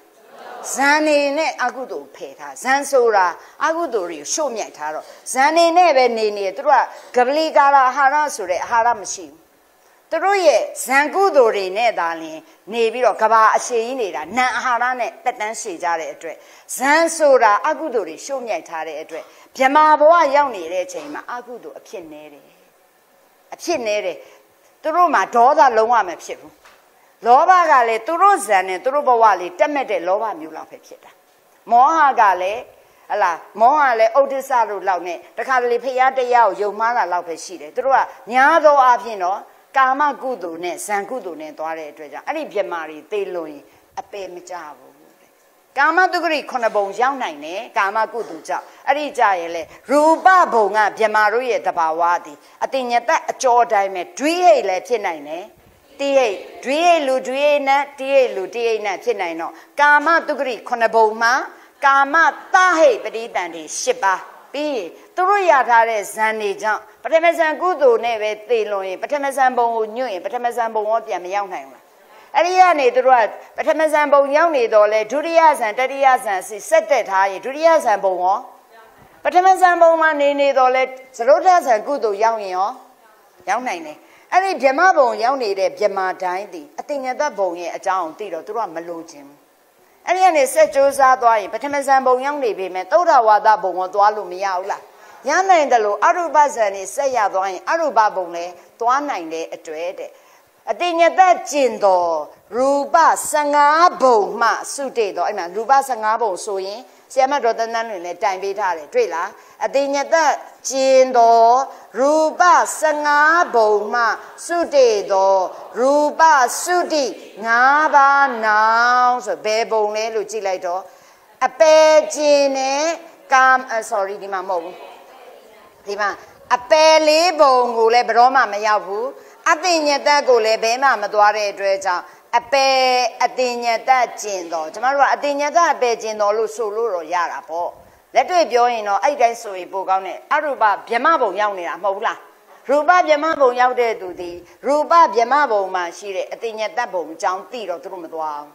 အပယ်အသိညတတ်ကေအကုသို့မလုပ်တဲ့အတွက်ကြောင့်အပယ်လေးဘုံလည်းမရောက်တဲ့အတွက်ကြောင့် အတိညတတပုံရဲ့အပယ်လေးပုံကျင်တော့၅ပုံကျင်လိုက်ပြီဆို31ထဲက9ကိုနှုတ်လိုက်ရင်26ပုံ၌ဟုတ်လားအတိညတအပယ်ကျင်တော့26ပုံ၌ဆိုတော့ဒီဘက်ကိုကြည့်အတိညတအပယ်ကျင်လိုက်ပြီမယ်ကာမ7ပုံနဲ့ကအပယ်၄ပုံကျင်တော့ကာမတုဂတိ9ပုံကိုမရောက်နိုင်ဘူးလား ရောက်ရင်ဘာတွေဖြစ်နိုင်တယ်လဲကာမဒွိဟိတ်နဲ့တိဟိတ်ဆိုကာမတာဟိပရိတန်တွေက၈ပါးဟုတ်လားရှင်ဟုတ်လားအဲ့တော့ဇယံမှာလေဒီနေရာလေးမှာအမှန်မှ line တားရမယ်သိလားဒီနေရာလေးမှာဒီလိုလေးဒါလေးပါမယ်ဒါလေးကိုဆက်ရမယ်မြင်လားဒါဒီလိုသွားရမယ်ဒါဆိုရင်အတိညတအပေခြင်းတော် ကာမတုဂရိခုနဘုံ၌ကာမတာဟိပရိတန်ဒီဘယ်နှပါ၈ပါးပြီးရရူပ16ဘုံမဟုတ်ဘူးလားရူပ16ဘုံမှာအတင်ညသက်ခြင်းနဲ့ရူပ15ဘုံမှာရူပပရိတန်ဒီ5ပါးဟုတ်လားပြီးရင်အရူပ4ဘုံမှာအရူပပရိတန်ဒီ4ပါးဆိုပရိတန်ဒီပေါင်းက20မရှိဘူးလား20မှာကျမလွယ်လွယ်ပြောရင်ပရိတန်ဒီ20မှာအတင်ညသက်မသွားရင်ဇီဝိတနဝကကလတ်ရုပ်ပရိတန်ဒီမရအောင်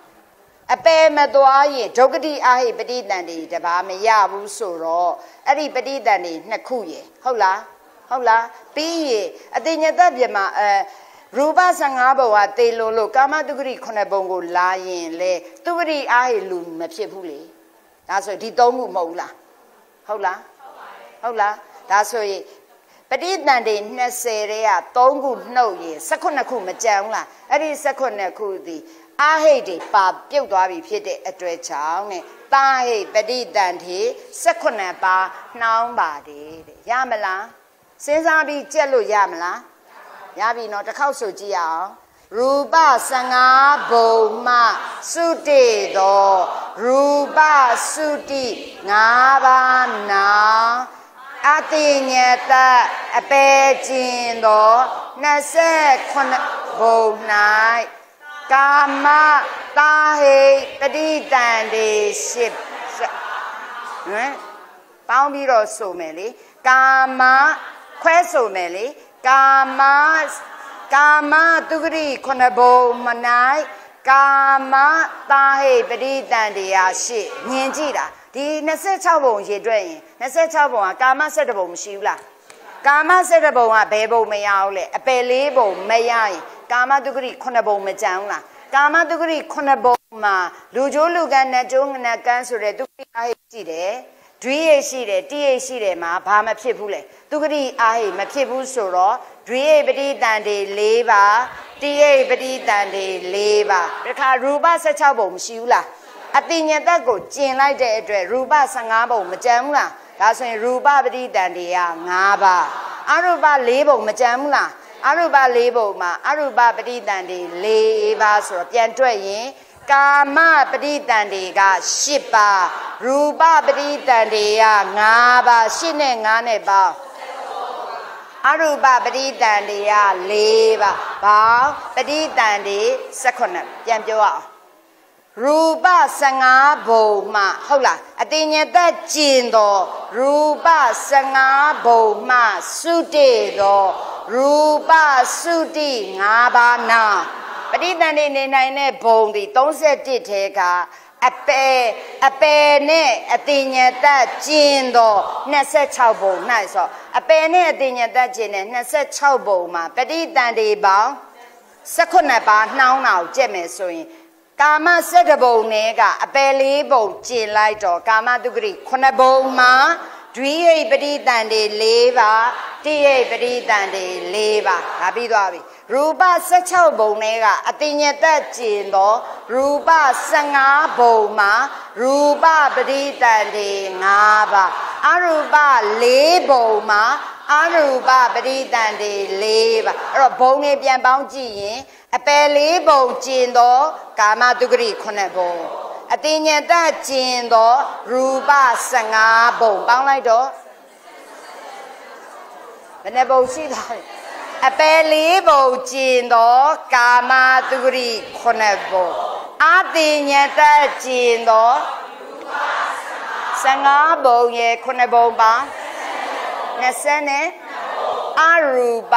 ၄ဘုံပေါင်း26ဘုံခဏရမယ်ကာမတုဂရိ9ဘုံမှာဖြစ်နိုင်တဲ့ပဋိသန္ဓေမှာဒွိဟိပဋိသန္ဓေ၄ပါးတိပဋိသန္ဓေ၄အတင်ညတကျင်တဲ့ရူပ15ဘုံမှာဖြစ်နိုင်တဲ့ပဋိသန္ဓေဟာရူပပဋိသန္ဓေ5ပါးခုနက၄၄က8 8ကဲ9ရဲ့ပါ အရူပ၄ဘုံမှာအရူပပရိတန်တရား၄ဘာ18ပါးနှောင်းအဲ့လိုစဉ်းစားရင်မရဘူးလားအဲ့ဒါတချောင်းလေးပဲကြက်လိုက်တော့အသေးညတဂျင်းသောရူပ15ဘုံမှာစုတေသောရူပစုတိ5ပါးနာအပယ်လေး အပေအတိညတကျင်သော26ဘုံ၌တာဟိပတိတန်တေ18ပါးနောင်26ဘုံကိုဖော်ပြပါဆိုတော့အပေလေးဘုံကျင်သောကာမတုရိ9ဘုံအတိညတကျင်သောရူပ15ဘုံ အရူပ၄ပေါင်း26ကာမတုဂရိခုနှစ်ပုံမှာရနိုင်တဲ့ပဋိသန္ဓေမှာဒွိဟိပဋိသန္ဓေ၄ပါးတိဟိပဋိသန္ဓေ၄ပါးအတိညတကြည်နဲ့ရူပ15ပုံမှာရနိုင်တဲ့ပဋိသန္ဓေကရူပပရိတန်တေ၅ပါအရူပ၄ဘုံမှာရနိုင်တဲ့ပရိတန်တေက ဘောင်းပရိတန်တေစပါနောင်ဤရမလားဟောဒီတဲ့လွယ်သွားပြီဒီနေရာမှာအရူပဘုံပဲကြံအရူပဘုံမှာလည်းမှတ်ထားမှာထူးခြားချက်ကအရူပပြမဆိုတာဘယ်ဇံရတာလဲဘာဇံလဲအရူပပြည့်စမဇံပြည့်စမဇံရိုးရိုးပြောလို့မြအရူပပြည့် အရူပပြည့်စမဇံဆိုတာဘယ်ဇံတဲ့အစစ်မြင့်ဒါဆိုအရူပပြမဆိုတာရူပပြမတဲ့အစစ်မြင့်တယ်ဘာလို့လဲအရူပပြင်းစမဇံရထားတဲ့အရူပဗြမာကြီးတွေဒီရူပဇံတဲ့အစစ်မြင့်တယ်ရူပဇံကပထမဇံဒုတိယဇံတတိယဇံသရုဋ္ဌဇံရူပပြင်းစမဇံ၅ခုရူပပြည့်စမဇန် တဲ့ရူပပြည့်စမဇန်ဒီပို၍အစစ်မြင့်တယ်အဲ့ဒီ၅ခုကအာ၄ခုကအာကာဝိညာအာကိနေဝတိရူပပြည့်စမဇန်ရပြီးမှအာကာကုသိုလ်ရတယ်အာကာရပြီးတဲ့သူမှဝိညာဝိညာပြည့်စမဇံရပြီးမှအာကိအာကိဇံရပြီးမှနေဝအရူပပြည့်စမဇံမှာလေအာကာတိအစစ်အနှိမ်ဆုံးနေဝတိအစစ်မြင့်ဆုံးအရူပဗြမာကြီးတွေဒီသူတို့ကမာနကြီးတယ်သူတို့ကဇံမြင့်တဲ့အတွက်သူတို့က အရူပဗြဟ္မာဘဝရောက်ရင်ဘယ်တော့အခါမှရူပဇံပြန်မဝင်စားဘူးဒါကြောင့်အရူပဗြဟ္မာဘဝရောက်ရင်အရူပဇံနဲ့နေတယ်သူတို့ကယုံမရှိဘူးနံကြီးပဲနေတဲ့အတွက်သူတို့နံမှာလဲအကုသိုလ်စိတ်တရားတွေကိုသူတို့ရဲ့ဇံနဲ့ရှို့မြိုက်ထားတဲ့အတွက်ကြောင့်အဲ့ဒီအရူပဗြဟ္မာဘဝမှာအကုသိုလ်စိတ်တွေအပယ်ကျနိုင်တဲ့အကုသိုလ်တွေမဖြစ်ဘူး သူတို့မှာဒေါသလုံးဝမဖြစ်ဘူးရူပပြမတွေလိုပဲလောဘနဲ့မောဟကလည်းဒီရူအရူပဇံနဲ့အရူပဘဝကိုတက်မဲ့တာလောက်ပဲဖြစ်တယ်ဟိုလိုမျိုးကျမတို့လိုကာမဂုဏ်အာယုန်နဲ့ဆိုင်တဲ့လောဘမျိုးဖြစ်တာမဟုတ်တဲ့အတွက်အရူပပြမဘဝကသေလွန်ရင်အပယ်လုံးဝမကြရူပပြမလိုပဲဒါဆိုဒီကနေပြီးတော့ notes တစ်ခုထုတ်လိုက်မယ်ဆိုရင်ပြမာတွေသေလွန်ရင်ဘယ်တော့မှအပယ်မကြဘယ်ပြမာမဆို အတိညာတပြမသေလုံးလဲအပေမကြအတိညာတကျင်တဲ့ရူပ15ဘုံကသေလို့လဲအပေမကြအရူပပြမသေလို့ရည်လဲအပေမကြတဲ့အတွက်ပြမဖြစ်၍တဝေဝင်းဝက်စခြင်း၌တရှုပ်ရှုပ်ဆိုသောစကားမှန်သလားဆိုတာအများကြီးမေးတယ်ယနေ့ပြမကြီးပြမပြည်မှာကိုရောင်ကိုဝါနဲ့တဝင်းဝင်းဖြစ်ပြီးနောက်တစ်နေ့သေလွန်ဝက်စကြီးမှာတရှုပ်ရှုပ်စားတဲ့ဝက်တရစ်ဆန်ဖြစ်နိုင်သလားဆိုရင်မဖြစ်နိုင်ဘဲပြမမဆိုသေလို့ရင်အပယ်ကျင်ထားတဲ့အတွက် ပယ်ဘရောမှမကြောက်ဒါဆိုအရုပပြမှာသေလို့ရင်လည်းအပယ်လေးပုံမကြောက်တခါကာမတုဂရိခုနှစ်ပုံတော့ရောက်နိုင်တယ်ဘာကြောင့်လဲဆိုရင်အရုပဇံရဲ့ရှေ့မှာမမေ့ရှိလို့ဝီထိသင်သင်ရလိမ့်မယ်အရုပဇံမဝင်စားမီရှေ့မှာဖြစ်နေတဲ့ကုသိုလ်မှန်သမျှဒီကာမကုသိုလ်ပဲအဲ့ဒီကာမကုသိုလ်မှန်သမျှဒီညာတန်ကြီးပဲအဲ့ဒီညာနာတံပြုတ်ကုသိုလ်တွေဖြစ်တဲ့အတွက်အရူပဗြမာတွေသိရင်လေရူပဗြမာထက်ထူးဆန်းတယ် ရူပပြမသိလွန်ရင်ဒွိဟိတ်ဖြစ်လို့ရသေးတယ်ကာမဒွိဟိတ်နဲ့ဖြစ်တော်လဲအရူပပြမသိလွန်ရင်ဘဒ္ဒဟိတ်မဖြစ်ဘဲနဲ့တိဟိတ်ပဲဖြစ်နိုင်တယ်အဲ့ဒါချက်အရူပပြမသိလွန်ရင်ကာမတုဂရိခုနှစ်ဘုံ၌တိဟိတ်ပဋိတန်တွေလေးပြီးရင်သူ့ရတဲ့အာကာဇံကသိလွန်ရင် အာကာဘုံပြန်သွားတယ်ပြီးရင်စက်တက်တဲ့ဝိညာဉ် အာကေနေဝဆိုတော့အရူပ၄ဘုံကာမတုဂရိ9ဘုံအရူပ၄ဘုံဘာ7ဘုံ၌ကာမမှာပြောရင်တိဟိပတိတန်တေ၄ပါးအရူပ၄ဘုံဖြစ်တဲ့အတွက်အရူပပတိတန်တေ၄ပါးဘာ၈ပါးနှောင်းဤဝိညာဘုံရောက်သွားပြီ ဝိညာဉ်ဘုံကသေလွန်တဲ့မြမလဲကာမတုရိခုနှစ်ဘုံလာရင်တိယပတိတန်တွေ၄ပါးပြီးအာကိမစင်းတော့ဘူးသူ့ဝိညာဉ်ရဲ့အာကိရဲ့နေဝရဲ့ဆိုတဲ့အတွက်ကြောင့်အရူပ၃ဘုံကာမတုဂရိခုနှစ်ဘုံဆိုရင်၁၀ဘုံပရိတန်တွေပြောရင်ကာမတုဂရိခုနှစ်ဘုံမှာတိယပတိတန်တွေ၄အာဝိညာဘုံဆိုရင်ဝိညာဝိဘက်တိ အာကိဆိုရင်အာကိဝိဘက်တိနေဝဆိုရင်နေဝဝိဘက်တိဆိုတော့ခုနှစ်ပါ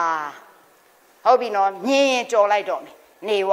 နေဝဘုံကစုတိတဲ့နေဝစုတိတပါးနောင်ဆိုရင်အပယ်မကြဘူးကာမတုဂရိခုနှစ်ဘုံရဲ့အရူပကနေဝရောက်တော့နေဝပဲပြန်သွားတယ်နေဝဘုံရဲ့ငါ ဘယ်နှဘုံရှစ်ဘုံနိုင်ပရိတန်တွေပြောပါဆိုရင်ကာမတုဂရိခုနှစ်ဘုံမှာတိပရိတန်တွေ၄ပါးရဲ့နေဝပရိတန်တွေတပါးရဲ့တိ၅ပါးဒါလေးပဲအဲ့တော့အဲ့ဒီထဲမှာတည်တင်တာတွေကိုအခုကျမတို့သင်လိုက်ပြီဟုတ်ပြီနော်အဲ့တော့သင်လိုက်ပြီးအရေးကြီးဆုံးအနေနဲ့မေးလေးရှိတာကအဲ့ဒီအပယ်လေးပုံတို့ ခုနကျမပြောသွားတယ်အပယ်လေးပုံနေရာမေးတယ်နောက်တကအသေးဓမ္မမိတ်ဆွေတို့တိရိတ်ကြီးတွေသိရင်လက်ရှိအခြေအနေရဆိုရင်လက်ရှိအခြေအနေရတိရိတ်ကြီးမှန်မှန်တိရိတ်တို့သိလို့ရင်32ပုံမှာပဋိသန္ဓေ20ဟုတ်လားသို့တော့လက်ရှိအခြေအနေရလို့ဆိုရင်ကာမ7ပုံမှာကာမပရိသန်လေး10ပါပဲသွားတယ်အဲ့တော့ယနေ့မြမကြီးတူသိလို့ရင်ဝတ္တရစ္ဆန်ဖြစ်နိုင်သလားဆိုရင်တော့ ဟဲ့လားရူပ16ပုံနဲ့ပတ်သက်တာပြောရမယ်အရူပ4ပုံနဲ့ပတ်သက်တာပြောမယ်ဒါပဲပေါ့သို့တော့လောလောဆယ်တော့အဲ့ဒီနေရာလေးတွေကမမေးသေးဘူးနည်းနည်းလေးတက်တာအောင်လေးပြောပြခဲ့တာမေကွန်းနည်းနည်းလေးနော်ဟိုဖြစ်တာလောလောဆယ်ဘာကြက်ရမလဲဆိုရင်ကာမ7ပုံလောက်ကြက်ရမလားအတန်းထဲမှာအရာတင်လိုက်တယ်ဟုတ်ပြီနော်ပြီးတော့မှနောက်ဆုံးနှခမ်းတက်ကလေးကပဋိသတ်တွေဘဝင်စုတိတို့တူပုံစာတွေ့လား တွေ့တယ်နော်အဲ့ဒါဘဝတစ်ခု၌တဲ့ပဋိသန္ဓေဘဝင်စုတိတို့သည်ဘူမိဆိုတာဘုံအားဖြင့်ဇာတိဆိုတာဇက်အားဖြင့်တံပယုဒ္ဓဓမ္မရှင်ဘောရှင်ဘက်အားဖြင့်သင်္ခါရဆိုတာအလာတလာပေါ်မူတည်၍အာယုံဆိုတာကံကမ္မနမိတ်ဂရိနမိတ်အားဖြင့်ယထာရာတူကြတယ်အဲ့ဒါဒီခုလောလောဆယ်မကြက်နဲ့အောင်နော်စာချက်ဆရာများမှာဆိုလို့အဲ့ဒါဒီတကယ်စာမေးပွဲကြီးကြရင်တော့ အရင်အရေးကြီးတယ်လောလောဆယ်မကြက်နဲ့အောင်နော်ပင်မန်းမှာဆိုလို့ရပြီနော်ဒါဆိုဘုံမိုင်းပြီးပြီနော်အဲ့တော့ဘုံမိုင်းဒီလာမဲ့တောက်ကြနေ26ရက်နေ့မှာလာဖြေပါလွယ်လွယ်လေးတွေပဲကျမဆီယမတွေကိုမှားတာမိကွန်ခက်ခက်မထုတ်ရဘူးနော်အဲ့တော့ဖြေနိုင်မှာပါနော်စာလဲမှန်မှန်ကြက်တယ်မှတ်လားအဲဒါဆိုရပါပြီအဲ့တော့နောက်တစ်ပတ်စနေကြာရင်ကျမတို့ရုပ်ပိုင်းစတော့မယ် နော်ရုပ်ပိုင်းစမယ်ကဲဒီနေ့နှုတ်ဆက်ပါမယ်